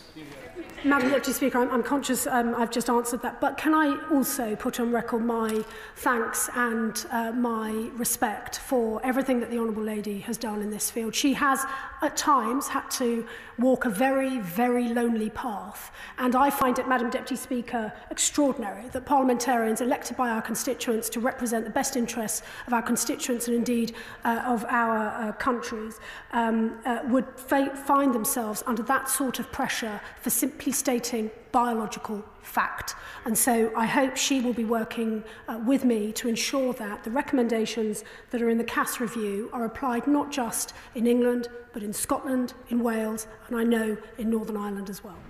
Uh, Steve Double. Thank you very much, Madam Deputy Speaker. I very much welcome this report and uh, also very much welcome the very strong uh, statement by the Secretary of State in response to it. If there is one thing that should be above party politics, that should be above political ideology, that should be above cultural trends or virtue signalling, it should be the welfare of our young people. And this report lays bare that sadly that is exactly what has been happening. But this ideology is not only captured part of our NHS, it is found in many of our public sector institutions. So can I ask the Secretary of State, who has clearly taken a very strong leadership position on this today, if she will ensure that across government that the findings of this report are implemented in education, in local government, in social services, in our police force to ensure that this can never happen again thank my honourable friend and, and say to him that I view this, you know, sorry, I'm not using a prop, I apologise, Madam Deputy, but this report sets out the evidence. You know, the evidence was not there before. It has taken four long years of very, very hard work to gather it. It is now there, and I hope uh, and expect certainly that the um, health se sector will um, take, uh, implement these recommendations, but also actually that we can have a conversation about our wider public space. Uh, and I'm very, very pleased uh, to read over the weekend the article by my ministerial my cabinet colleague, uh, the Minister for Women and Equalities. I do think there is, we have got to depoliticise the public space and ensure that um, these principles, this evidence is applied across the board for the health of all of our uh, constituents and our country. Lloyd Russell Moyle. Thank you uh, very much. Look, I, I welcome any research and this report that moves the debate forward. My reading of Cass is that she says there was a toxic debate on both sides that there were people particularly nasty and vicious on all sides. I've had posters put out my, outside my house with rude words on them, etc., etc. It has happened on all sides. That's what Cass says, that it is unhelpful. She says it seems to be little evidence that there is large numbers of regret, but there is little evidence on large numbers of success either. There is poor evidence of effectiveness there needs to be more evidence on the usefulness of social transition.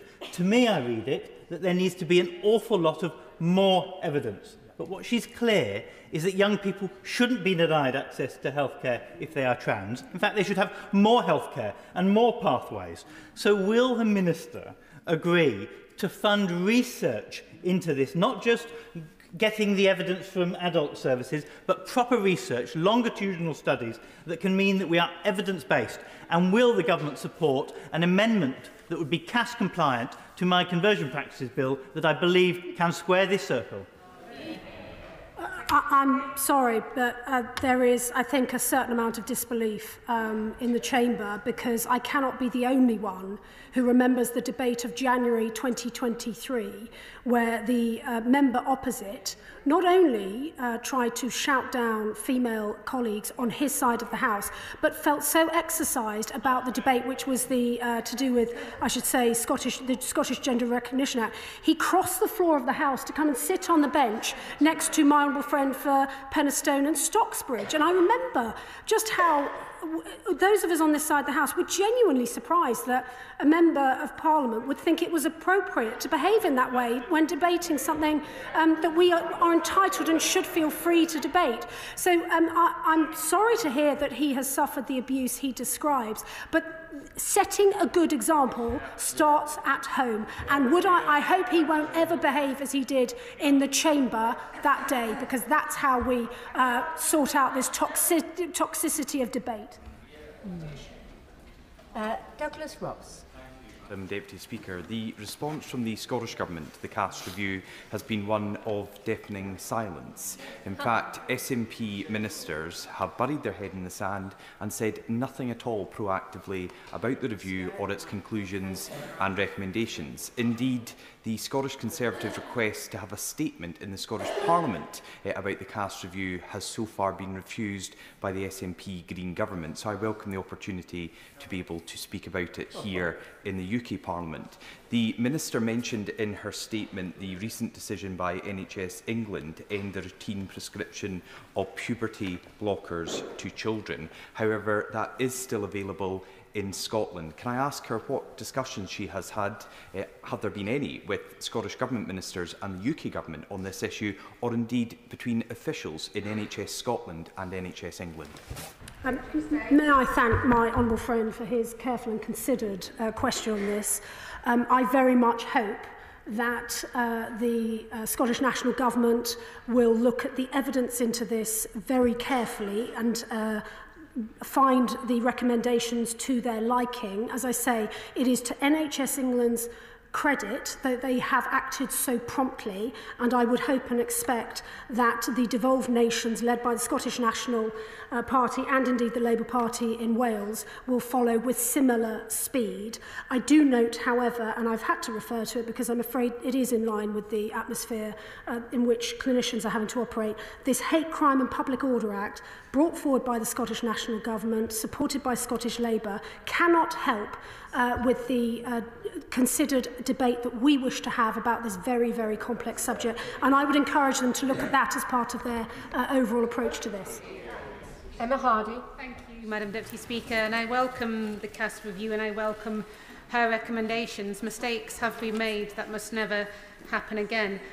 But the polarised public debate she mentions reflects badly on this House. Yeah, yeah. So does the Minister agree that making jokes about trans people yeah. and trans children yeah. is cruel and yeah. cheapens the debate yeah. and moves yeah. the focus away from ensuring that all of our young people yeah. get the help they need when they need it. Yeah. yeah. Well, it, it isn't simply, true leadership is not just about being careful about the words we use, and, and I'm not going to recite uh, many of the words that for example, the uh, other members of the uh, Labour Party have used about uh, trans issues um, and the fact they say, for example, that um, I think the cervix is... Uh, no, I'm not mentioning a member, but it's factually inaccurate to say only women had a cervix. I mean, that, that seems um, an extraordinary thing for a member of, uh, of the party opposite that wants to... They don't like hearing their words back at them, Madam Deputy Speaker. They don't like it.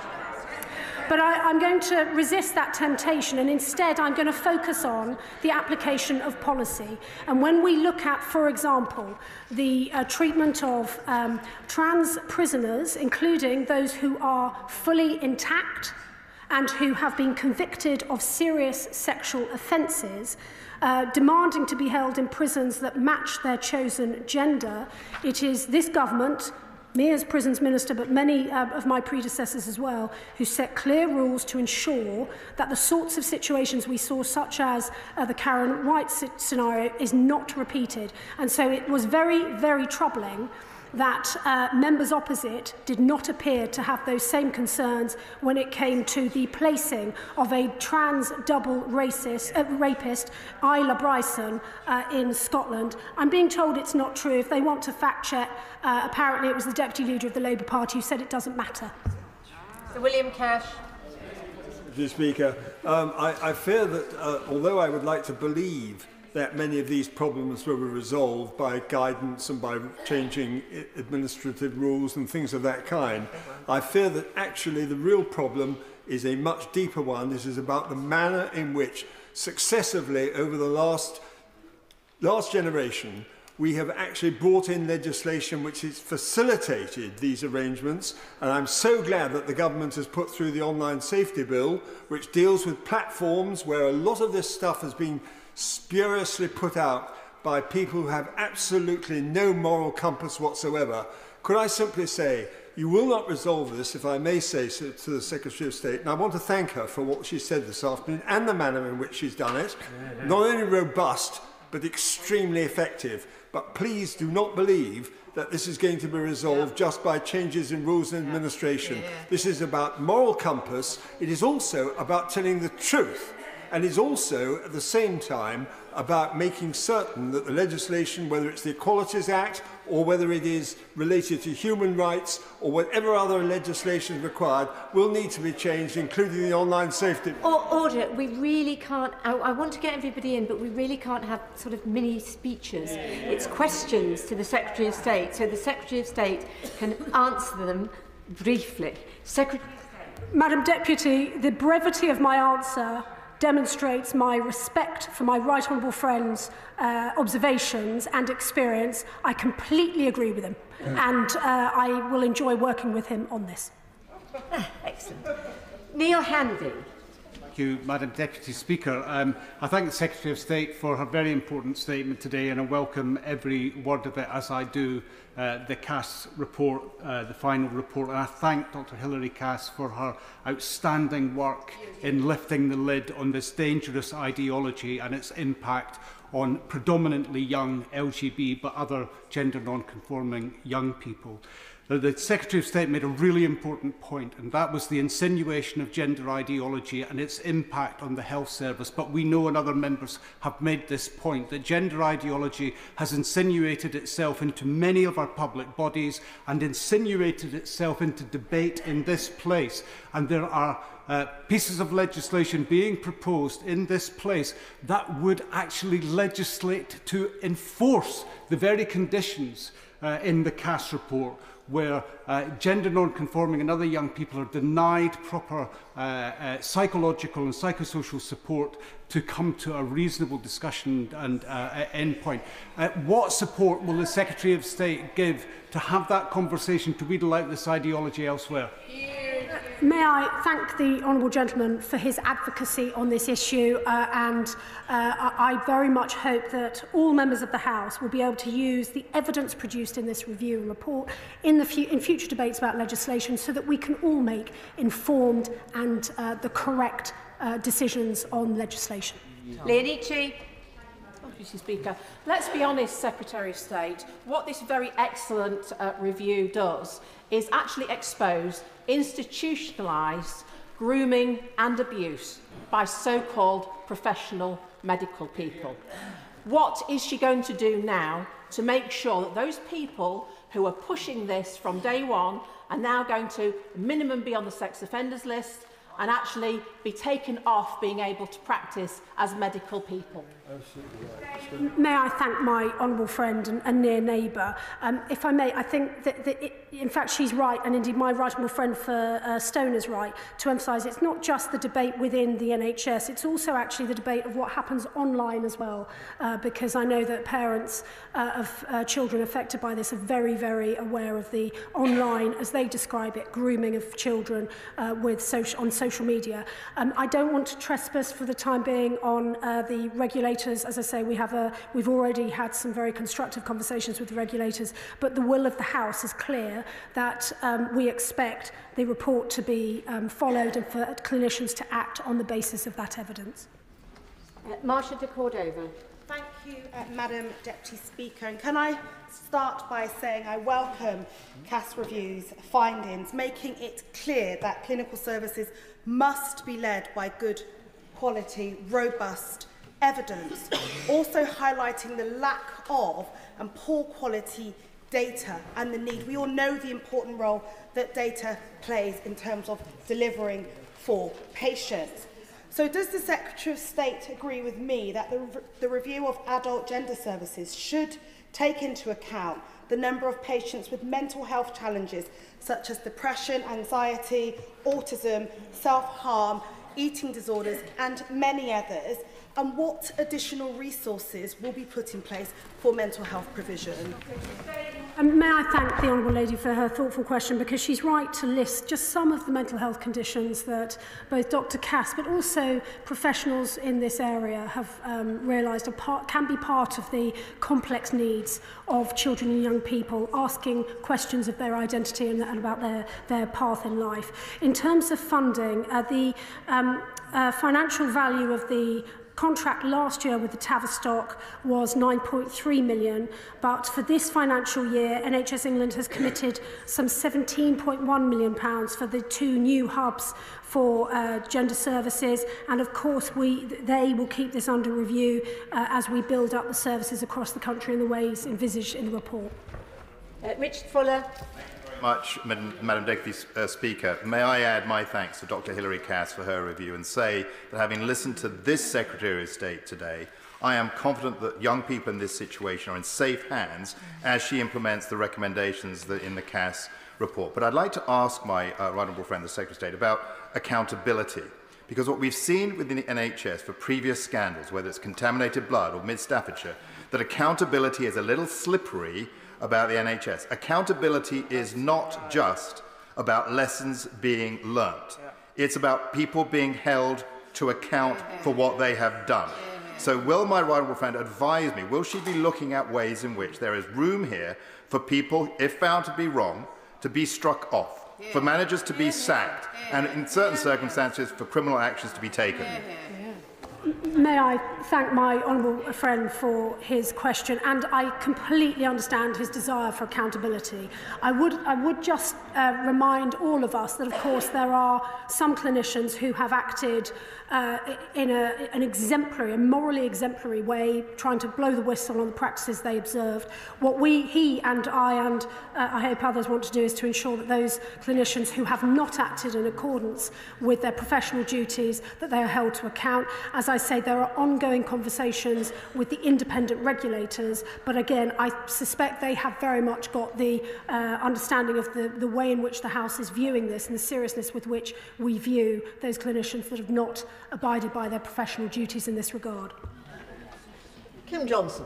Thank you, Madam Deputy Speaker. Many of the recommendations of the CAS review are to be welcomed. However, there has been some dangerous misinterpretation of some of the recommendations in public discourse and crucially in the response by the NHS England to recommendations for transitional services for 17 to 25 year olds. So will the Minister join me in challenging the NHS specialised commissioning team on the immediate limit of access to support to 17-year-olds, including cancellation of appointments for some who have waited years and calling on them to immediately reinstate access while they review next steps. Question. I think the honourable gentle, uh, sorry, the honourable lady, and forgive me if I've um, misunderstood her question. I think she's asking me. Uh, she's referring to the decision that um, we, the NHS England, will prevent under 18s from accessing uh, adult gender, sorry, adult gender services. There is a referral. Uh, there's a consultation open at the moment, and and uh, oh, sorry, it's just closed. We're looking at the results of that. But I am very, very sensitive to the needs of, uh, as I say, young people people within that 17 to 25 cohort who, um, the, for, for them, the cliff edge, as it's been described to me, of moving from children's services to adult services may not in fact be in their best interests. And so I promise that that is very much the focus of my work in this in the, in the weeks ahead. Julie Moss Thank you, Madam Deputy Speaker. Um, my experience of speaking with my constituents on this subject has been characterised by fear. Uh, fear often, I have to be honest, from mothers about their daughters.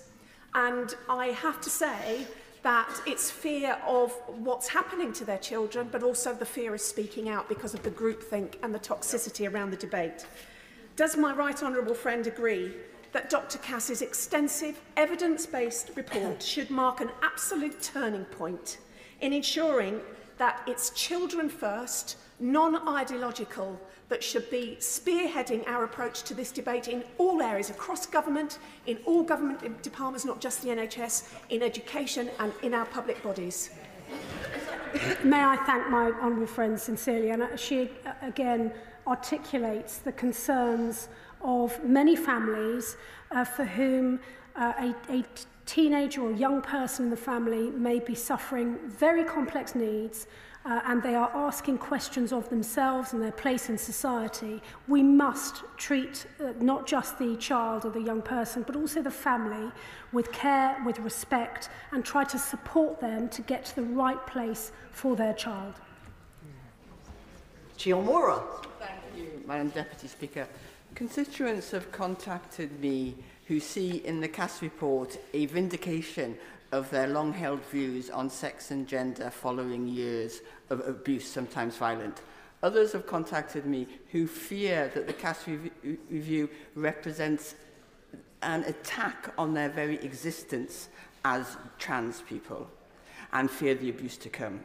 Would the Secretary of State set out that she opposes utterly the toxification and politicisation of questions of sex and gender?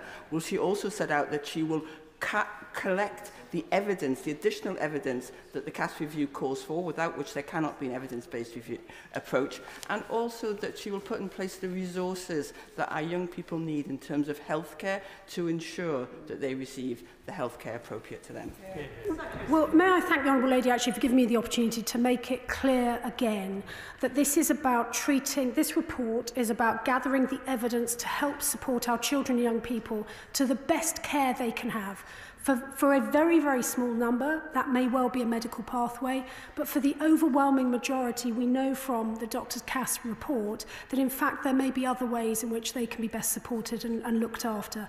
A and also, I do not want anyone um, to walk away from this debate thinking that for those adults who have made that decision you know, of their own free will, who are living their lives as freely as we all want them to, that this is somehow a, a report about them. This is not. This is about the, the healthcare, the, um, uh, more, the, the emotional care and support that we give to young people, their families, and also the pro professional confidence we give to clinicians to ensure that we get to the right place for each and every individual child. Anna Firth very much, uh, Madam Deputy Speaker. Uh, the Secretary of State's made a very powerful statement today, which I welcome absolutely, and the CAS report. But we do have to acknowledge that without this government commissioning this report with support from other parties, this would not have happened because so many on that side of the chamber just stayed silent and thought this report was pretty much a waste of time. And to see the lack of any appreciation of that today is shocking and shameful. But the important points I wanted to ask was the timetable for the for, to enact the wider, wider findings of the CAS report. I'm very grateful for what she said about meeting the GMC over the weekend, but there clearly needs to be some work to be done there. And secondly, and really concerningly, what steps are we putting... Order, order, order, order. I'm sure the Honourable Lady doesn't mean secondly, because she's not actually making a speech. She has one question to ask, and I'd be grateful if she would just ask one question, please. Steps, the emotional uh, and psychological support for those who've already undergone this treatment with irrevocable consequences. What are we going to do for them, please? Yes, uh, well, may I thank my honourable friend. Um, in terms of the, uh, her observations about uh, other, side, other parts of the chamber and their response to this uh, are well made, frankly. But in terms of the, um, in terms of the Gosh, I'm being told they're not true. Crikey, they may have just opened up a bit of a Pandora's box on this. Um, the, uh, the point she makes about supporting uh, people who have gone through this process and are who are trying to detransition, she is absolutely right that, um, that they need particular care, and I'm actively looking into what NHS England needs to provide in order to look after these very, very complex needs that such people have. Ben Bradshaw. Has she seen today's very sad interview with Judge Victoria McCloud, uh, Britain's only senior transgender judge, who has been driven from her job because of anti-trans hate, and particularly the trend among some politicians and opinion formers to describe being transgender as an ideology. She has used the term ideology, as have a number of her colleagues yeah. during this statement. Could you please clarify for the benefit of this House and trans people that she does not believe being transgender is an ideology. Yeah. I genuinely thank the Honourable Gentleman for giving me the chance to re-emphasise that. When, we have, when I've talked about ideology, it is the ideology influencing the provision of services, the assumption that uh, any child or young person who is questioning their place, questioning their sexuality, questioning uh, their identity and their, their future path in life, the ideology is that that influenced those services which Dr Cass has set out so very well. But of course, if an adult chooses to live their life uh, in a transgender, you know, as a transgender adult, then they must do so and they must do so freely. And I would hope also with compassion and understanding from all of us, because I have always said, by the way, I've been talking about this now for many years. When I was Minister for Women, I uh, uh, talked about this. We must deal with this issue in a caring and careful way. And that is what Dr. Cass emphasises in her report. Robin Miller.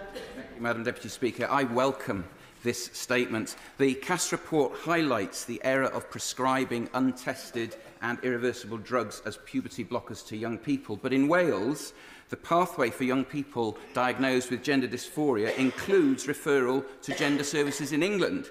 CAS, the CAS report also warns against teachers being forced into making premature and effectively clinical decisions about affirmation, such as social transitioning, and yet this is implicit throughout the Welsh Government's own LGBTQ plus action plan and their compulsory relationships and sexuality education curriculum.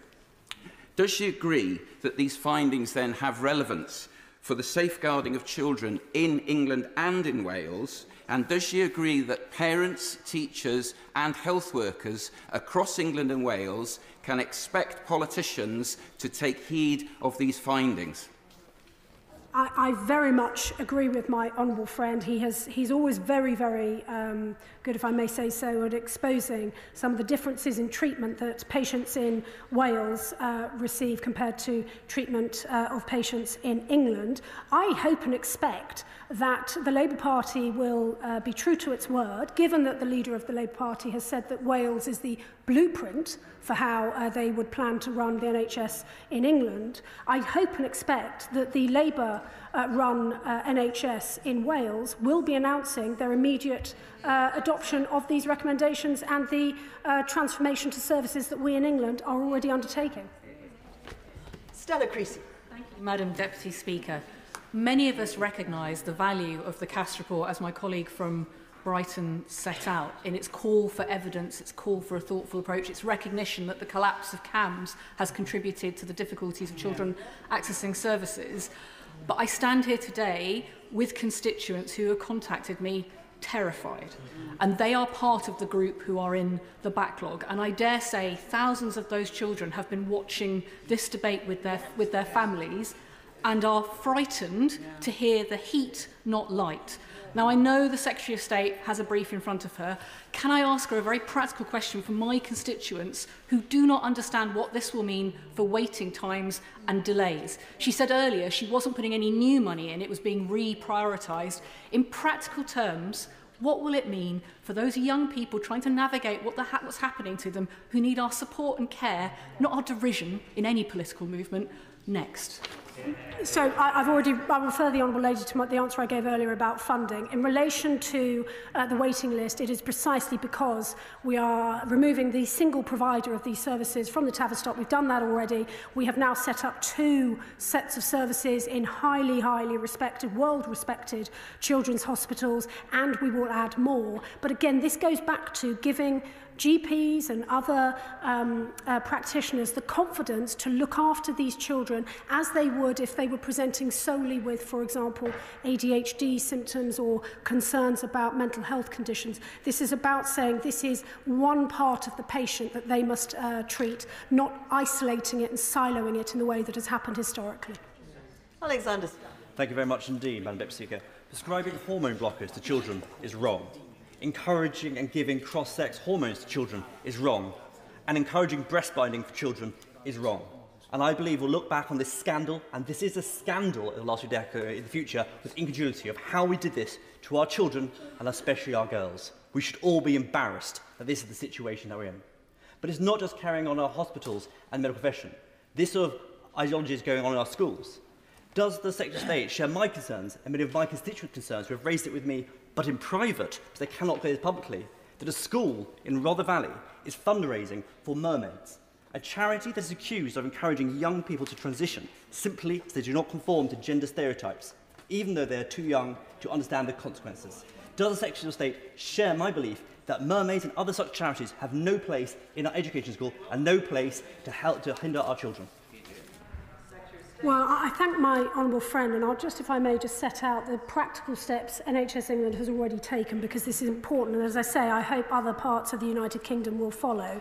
Uh, NHSE has banned the prescription of puberty blockers for gender dysphoria to children under the age of 18 years old. For cross-sex hormones, they can only be prescribed at the moment with extreme caution for 16-year-olds and older. That is on the advice of Dr. Cass. And no cross-sex hormones may be prescribed to under 16 16-year-olds for gender dysphoria. There are, of course, medical caveats to that for other uh, medical conditions, and we need to be very careful of unintended consequences, which is why this is such a complicated piece of work. But we want to ensure that these uh, drugs uh, are prescribed to the right people, if indeed they should be prescribed at all. His point about um, campaigning organisations, again, this is part of, I think, our collective frustration that our public spaces have become um, politicised and that uh, it, there is, I would say, there is no space for that sort of campaign activity in any of our public institutions. Uh, I appreciate, of course, a range of views must be represented. People must be hel helped. P young people must be helped to discover, as I say, their path in life, um, their sexuality, all of the things that is a one such a wonderful part of growing up. But we have to do so in a way that is fair, that is rigorous, and that does not give way against the evidence into the realms of ideology, which sadly we have seen in some instances. Stephen Farry. Uh, thank you very much. Uh, I do welcome uh, the Cass review and the recommendations uh, merit uh, proper and full consideration. Dr Cass herself has called for, tr for trans young people, their families and clinicians to be treated with respect and compassion. And sadly, I don't think we have seen that today in terms of some of the comments and indeed some of the heckles that have been made during this session. Will the Minister commit to challenging the harmful culture of transphobia in the UK, which is growing, and indeed which was challenged in 2022 by the Parliamentary Assembly of the Council of Europe, placing the UK alongside Russia, Hungary and Turkey? If the Honourable Gentleman wants to work constructively with me on ensuring that we deal with this report, we deal with the evidence in a caring and careful way for the benefit of children and young people, but also the wider trans community. I will welcome his support in so doing. Zara Sultana.